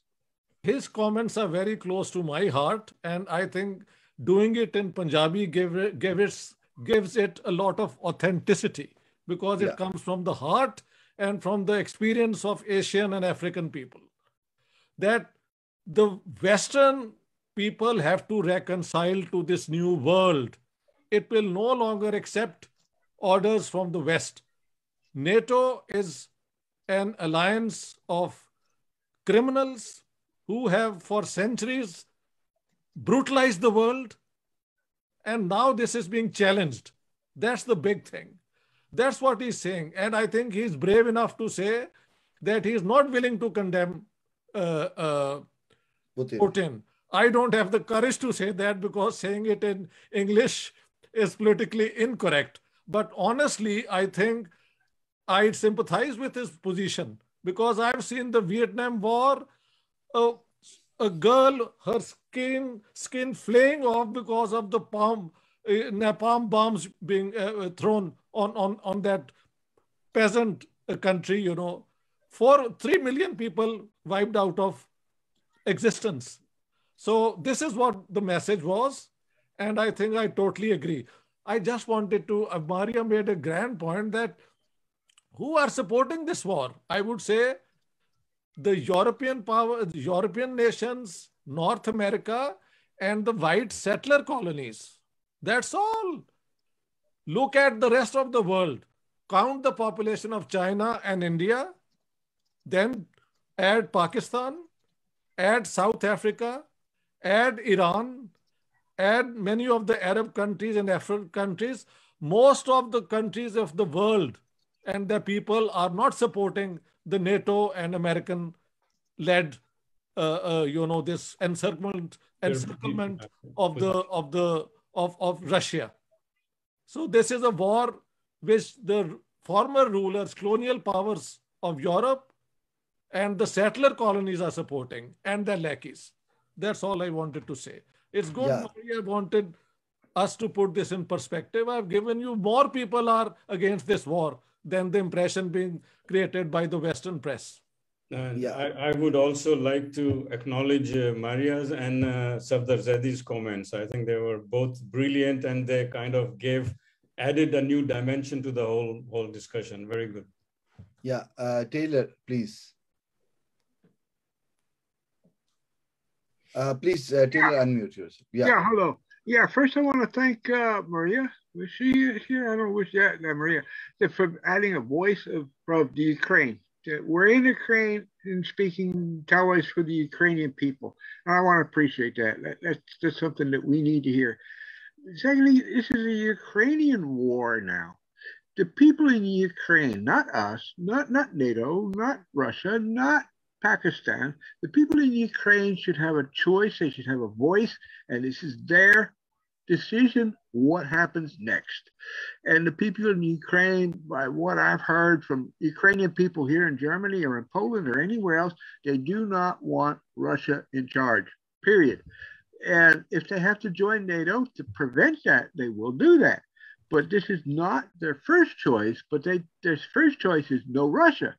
And that is something that, that's just totally ignored here. Sure, you can blame NATO, you can blame Russia, you can blame everything else. What do the people in Ukraine want? And right now, 100% do not want Russia in charge. That that's it. And you can ask any of the Ukrainians that have made it out or is still there, and they will tell you that fact. They do not want Russia in charge. Now, how you propose to stop Russia's aggression in Ukraine without further aggression? That is the major question. Yeah, uh, thank you. Farooq Saab, do you want to comment or something? Farooq Tariq? Okay, uh, because, uh, yeah, you were uh, writing in the chat box. So I thought uh, Okay, fine. I'd like to speak, uh, Bhatti sir. Yeah, please, please, Farooq. Yeah, sure, sure, Please. I think we can never support war, whatever justification you or Ishtiaq Saab or other can give. There is no way we should support a war on another country. Uh, giving uh, excuses and justifications that NATO was very criminal, that is absolute true. NATO had killed millions, that's true. But is that a justification to attack Ukraine now? People are dying, whole cities are destroyed. And here comes our friend from Canada saying that I don't even condemn that. I'm sorry, what sort of human being we are that we are supporting killing of people, uh, attacks on uh, by the planes, uh, tanks are used, and it has generated a new arm race, as uh, one of our friends said. That's absolute true. It has generated new nuclearization race. Yes, that's true. Why? Because Russia went into Ukraine on the pretext that I feel threatened. Same is true in Pakistan then, that uh, uh, Pakistan should be attacked by India because they see that Pakistan has nuclear weapon, they can attack. How could you support such a position that because uh, you are joining an alliance, which we don't support, we are totally against NATO. But how could you say to another country, don't join this, join that, join that? If that is true for NATO, that is true for Russia as well. So I'm totally disappointed, frustrated, really very unhappy the way our progressive Pakistanis are supporting the war efforts. I'm sorry for that. Thank you very much. Yeah, uh, uh Wahid Bhattis. I think yeah, it's. Uh, I I can only repeat what I said. I I don't think OPP as an as an organization or uh, several participants who who condemned NATO in any way suggested that they support the war, uh, with an exception of Pritham. He, were, he was very clear in his statement. Yes, that's true what he said, uh, his statement. But I, I don't think anyone said, and I think these examples are not not quite, uh, it's not really, it's apples and pears because India, Pakistan, can India can attack because they feel threatened by Pakistan. It's not the similar situation. And it was not, see, if, if Ukraine would have made this choice free of other pressures in national interest that they want to join NATO or European Union or whatever. But there have been lots of powers in play. I mean, look at only the Maidan movement when it started, led by fascists. All, not many European politicians, American politicians going there, standing on the square, making their speeches, prompting people supply billions and billions and billions of weapons, training the people, even now giving uh, them all this. And some, some voices like France and Germany saying that uh, don't do that, don't do that, because this, was, this will provoke Russia. This is a direct attack on Russian security. And I mean, these kinds of things happening. Uh, these are not comparable with the with India, Pakistan, or or those kinds of situations. And yes, uh, and it is uh, it is not Ukrainian war. I think I am sorry. Whoever believes, I I totally believe it is not simply Russian and Ukrainian war. There are so many foreign legions fighting there. There have been all kind of weapons openly being sent by, by European Union, by NATO, by America, by Holland, by Germany. I mean, you they, they, are now sending all these uh, rockets which go up to 70 kilometers, and then we will send even more. And, and it's all escalation. I mean, Ukraine on its own was never any uh, competition for Russia in, in terms of war after surrendering all their weapons to, to, the, to Russia, to UK and, and, and US and so on and so forth. It was no match in any kind of direct confrontation the Ukrainian had been led this golden path, like like uh, you are one of us, you come to us. This is all honey and milk, and and these evil Russians, and and so on and so forth. So all these things have been prompted. They have been they have been really brought to boil. Uh, I'm again saying that it's, it's it's preemptive attack. Actually, yeah, okay. Uh, this this war, maybe there was more room for negotiation. Russia was trying to negotiate. It's not that they were not, but at the same time, they were threatening for the war and they went for the war. Wrong decision. Uh, it backfired also in many ways. He didn't get out of it what he thought he will get out of it. So his strategy didn't work out in that sense. But these, these things are not, we are, we are so oversimplifying the situation that, uh, oh, Ukraine wanted to join NATO, Russia didn't like it, they attacked them. I mean, it's not like that. It's not, I mean, if they have, again, I keep on saying if they are a sovereign country and they should have this choice to join whichever alliance they like, so do other countries. Why is India now threatened by American foreign minister? Because they are not condemning Russia.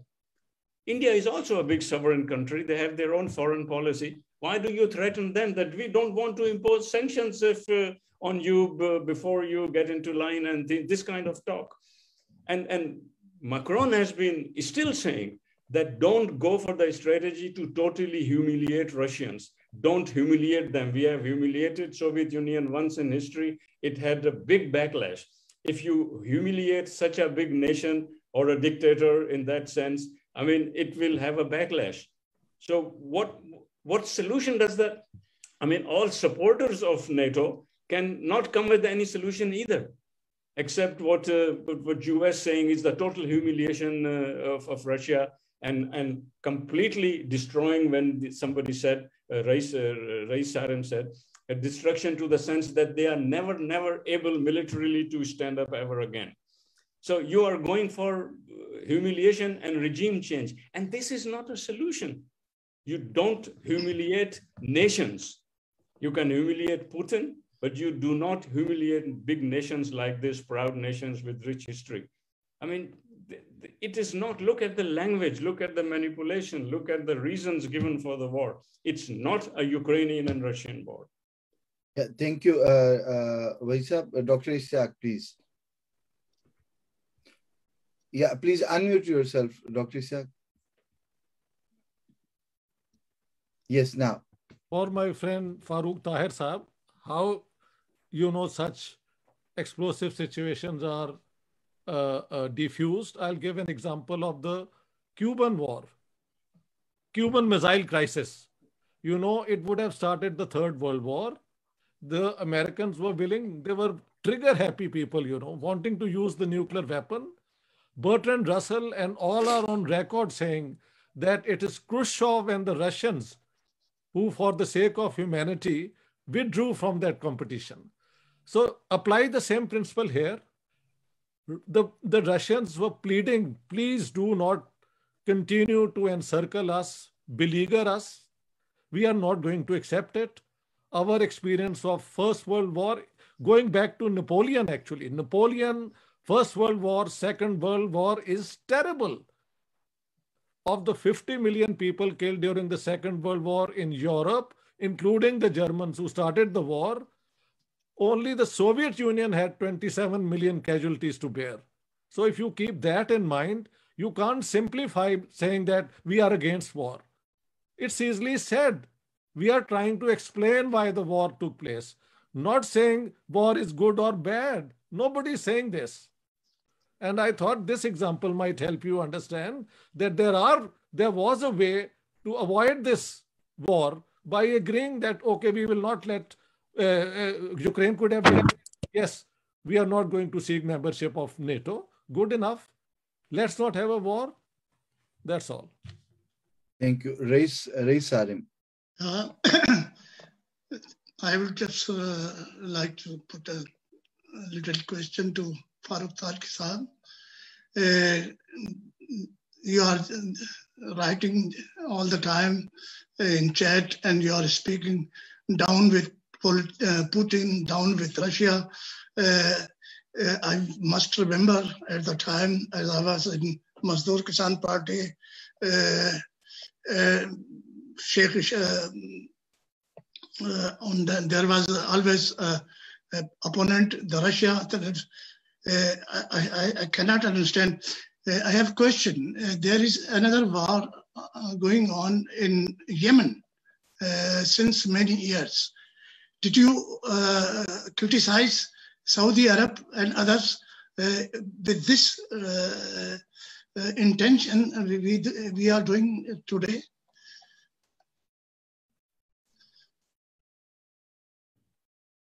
Yeah, Farooq Tariq sir, uh, would you like to respond?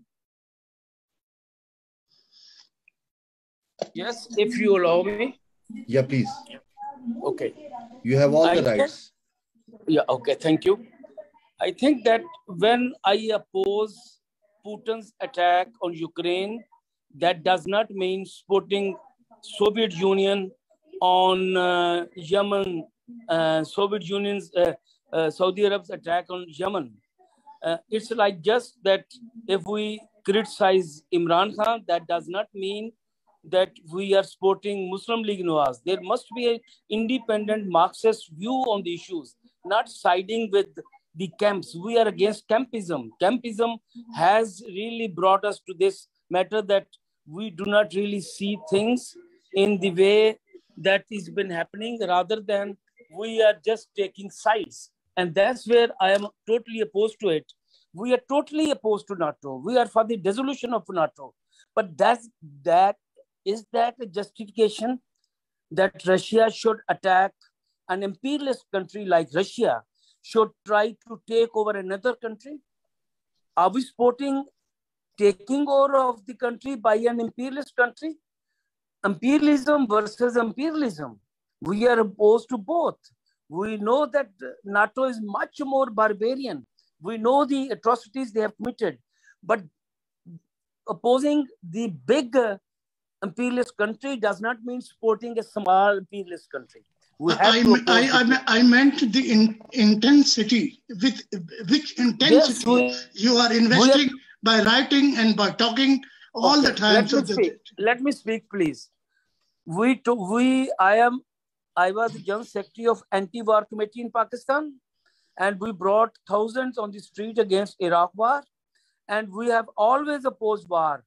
Simple thing, Ishtiaq Sahib, don't complicate this. This is an academic issue. This is a everyday life issue as well.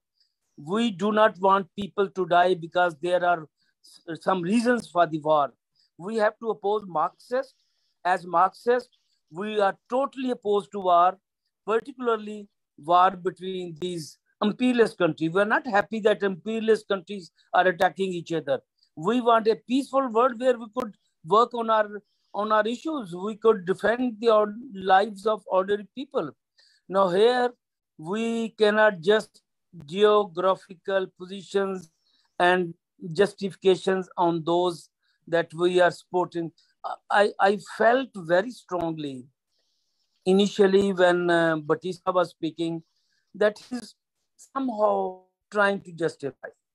He said he's not, but ultimately, Saab, when you heard our Canadian friend, you are very clear. This is my heart. This is what I wanted to say. I did the courage to say. So what does that mean? That you support you're supporting war on Nine, Ukraine. no, no, no, no. Here in this webinar, here, no, okay. Here in this webinar, I think the first thing we demand, stop the war. Uh, Yes, uh, Russia uh, of Farooq Tariq Saab. Yeah, Yes, Farooq same uh. Tariq Saab. Yes, yes.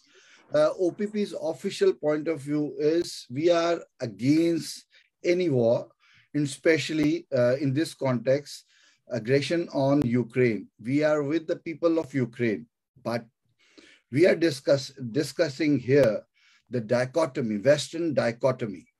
So we are not discussing here Ukraine, uh, you know, the plight of the people of Ukraine or what destruction has been doing over there by uh, by by Russia, and we are not supporting Putin or Russia at all. Uh, this is official statement. And then uh, Dr. Ishtiaq, please. Once again, I mean, this is like dragging the point, and I, and I don't think we are here to win a point against Farooq Tariq or he against me. I accept him as a comrade, and I accept his concern for peace as well. The difference is there is a difference between analysis and just a moral statement. You are making a, making a moral statement no sensible person will disagree with. But the hard thing to do is to understand why wars do happen. And when they happen, you have to look at the reasons and then find a way how to resolve it. I've given you the example of Henry Kissinger. I've given you the example of Putin and the Russian foreign minister proposing that please do not do this because if you do, you leave us no choice but to take preemptive action. Did the uh, uh, Ukrainian government respond to it? No. So that is where the war broke out, and its consequences are terrible, no doubt. So I think this will not be resolved today. You are taking a position where no sensible person would disagree with you. The difficult thing is to explain why it is happening. And when it is happening, how it can be ended. As I was telling you of the Indian, uh, you know, this uh, uh, young journalist saying the war can stop in an hour if the Ukrainians say that, okay, our plan to join NATO is given up. We want peace in this region because there is a theory that if your security threatens the freedom of your neighbor, the neighbor is bound to react. You must read that as well. So that's the problem of politics. Analysis is very different from taking a moral position. Your moral position and mine are the same. Yeah. Thank you. I, I, I just wanted to add to that. I think, uh, uh, I mean, and we, we all know Comrade Farooq Tariq for, for long, long, long time and highly, highly respect him. And I think it's mutual. He's, he respects uh, OPP and us as well. But see, there is absolutely, if there is any misunderstanding, let me clarify. No one here is supporting, at least from OPP, that one country takes over or Russia kind of takes over Ukraine. No. See that today the, the situation has been evolved such that even if Zelensky wants to stop the war, he has to get approval of NATO and Biden to, to do anything, any step. It's not that he independently can take uh, take take any this kind of choice. So we we we are not in favor of one country taking over another, and you have, you hear different extreme uh, opinions here, and we are trying to put this in a in a perspective. And again, the topic, as as uh, Amir Rana rightfully pointed out, was to highlight the dichotomy, the जिसको दोगलापन उर्दू में हमने कहा है कि जो waste का NATO का दोगलापन है इस जंग में उसको एक्सपोज करना, कि we wanted to expose this this double moral double standards of of west and NATO when they are talking the way they are selling और marketing this war to the world and and that was the thrust of the discussion which we try to expose it doesn't mean like you yourself set अगर इमरान को support है तो उसका मतलब ये है कि उसको कर रहे हैं या उसको कर रहे हैं। तो we are exactly same thing if we are criticizing NATO, or uh, it doesn't mean we are we are going for this. Uh, I think if there is any other question, uh, yeah, uh, Taylor wants to add something. Do you want to add something, Taylor? Uh, you have yes. raised your hand. Yes, I want to address uh, Hamid's comment there that Russia making the, the comment that if Ukraine stated they didn't want to be a part of NATO, they should have said so and Russia wouldn't invade it actually, it was stated before the invasion, the Ukraine had no plans on joining NATO, period. They had no plans. And they still do not have a plan to join NATO. They want to join the European Union because they're going to need assistance when the war is over, if the war is ever over. But there was no plan to join NATO from the Ukrainian side. That was Russian propaganda that you heard, and you didn't hear the other side. You totally ignored the Ukrainian position and Ukrainian people. And that that that kind of torques me a little bit. No offense to you personally, but you have to listen to both sides. And when the Ukrainian people and the Ukrainian president says we are not going to join NATO, there is no plans to join NATO, and Russia invades anyway because they said. I never heard them say that. I'm well, sorry, sir. I, I, I, have to. I have to. I have to interrupt here. Sorry, I'm taking that privilege. Uh, Mr. Taylor, I would just request you to, after this discussion, to go to the internet. Just go to the internet. What you are saying is historically incorrect because I heard it. I heard it. Wait, wait, wait, wait. Let, me finish, let me finish one sentence. Yushchenko and Yulia Tymoshenko, when she was prime minister, they made a request to NATO that Ukraine wants to join NATO. And they were replaced. So Sorry? that's the same. The Yeah, people but- replaced them. No, but hey, hang on, replaced, but but a government, a- an elected government made this request, and you saying they never said that? No, I'm saying present government had said that. Yeah, but oh, oh, my You can go back a hundred years and say, well, this one said that, this one said that. That is no longer fact. That that is what are we doing today? Putin didn't invade Ukraine 30 years ago. He invaded this year. Excuse, year. excuse me, there is one thing more. In, two, uh, in August uh, 2008 in Bucharest, when the NATO was uh, their uh, conference, they have invited Ge- uh, Georgia and Ukraine that if we will extend the uh, membership, if they uh, they will request. That That's was true. 2008. That's true. Yes. But Ukraine did not accept that. And did not, the Wahid had just told you.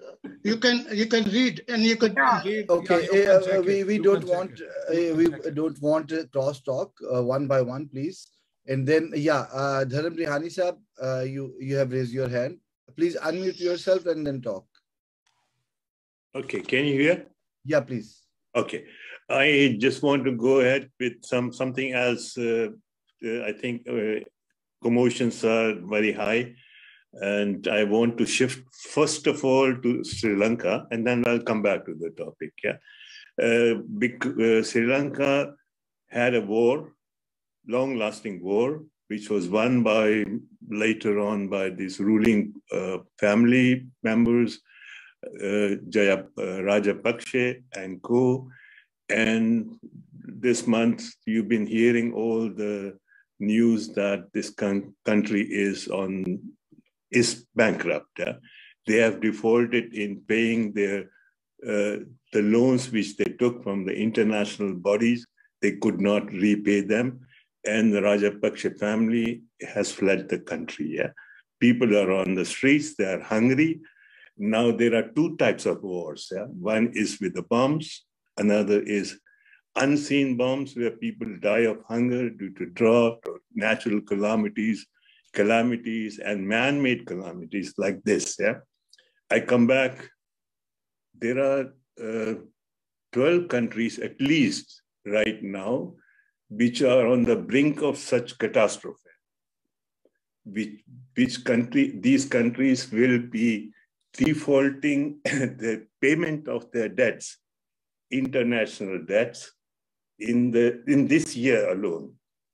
Ukraine is one of them.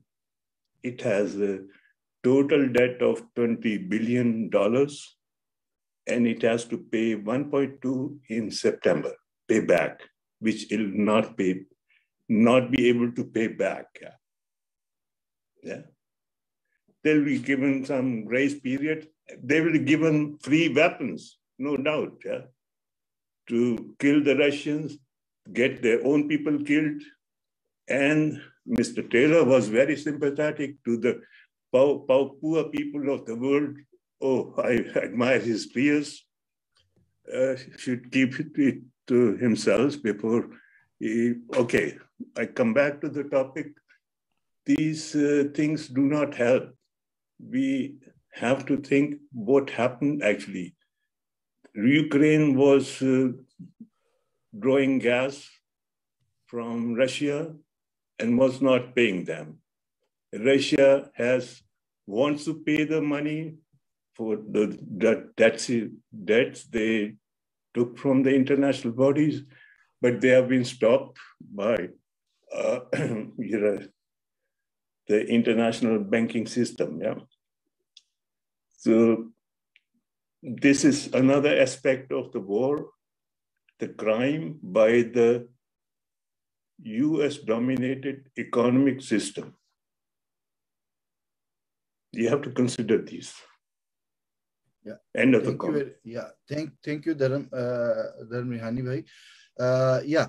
So actually, uh, honestly speaking, this is one of the most uh, uh, best uh, dialogues uh, we have ever uh, held because there are a lot of difference of opinion.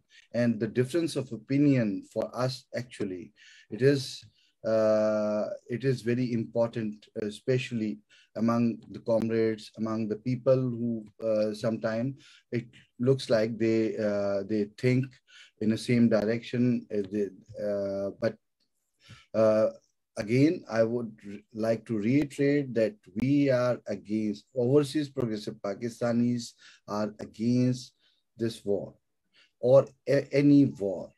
But we all we also are, um, are against uh, one-sided, uh, like Wahid Bhatti said, that one-sided advertisement or promotion.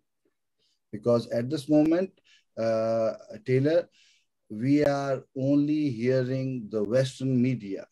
We have banned any other um, media or even Russian television or otherwise, we cannot hear from them.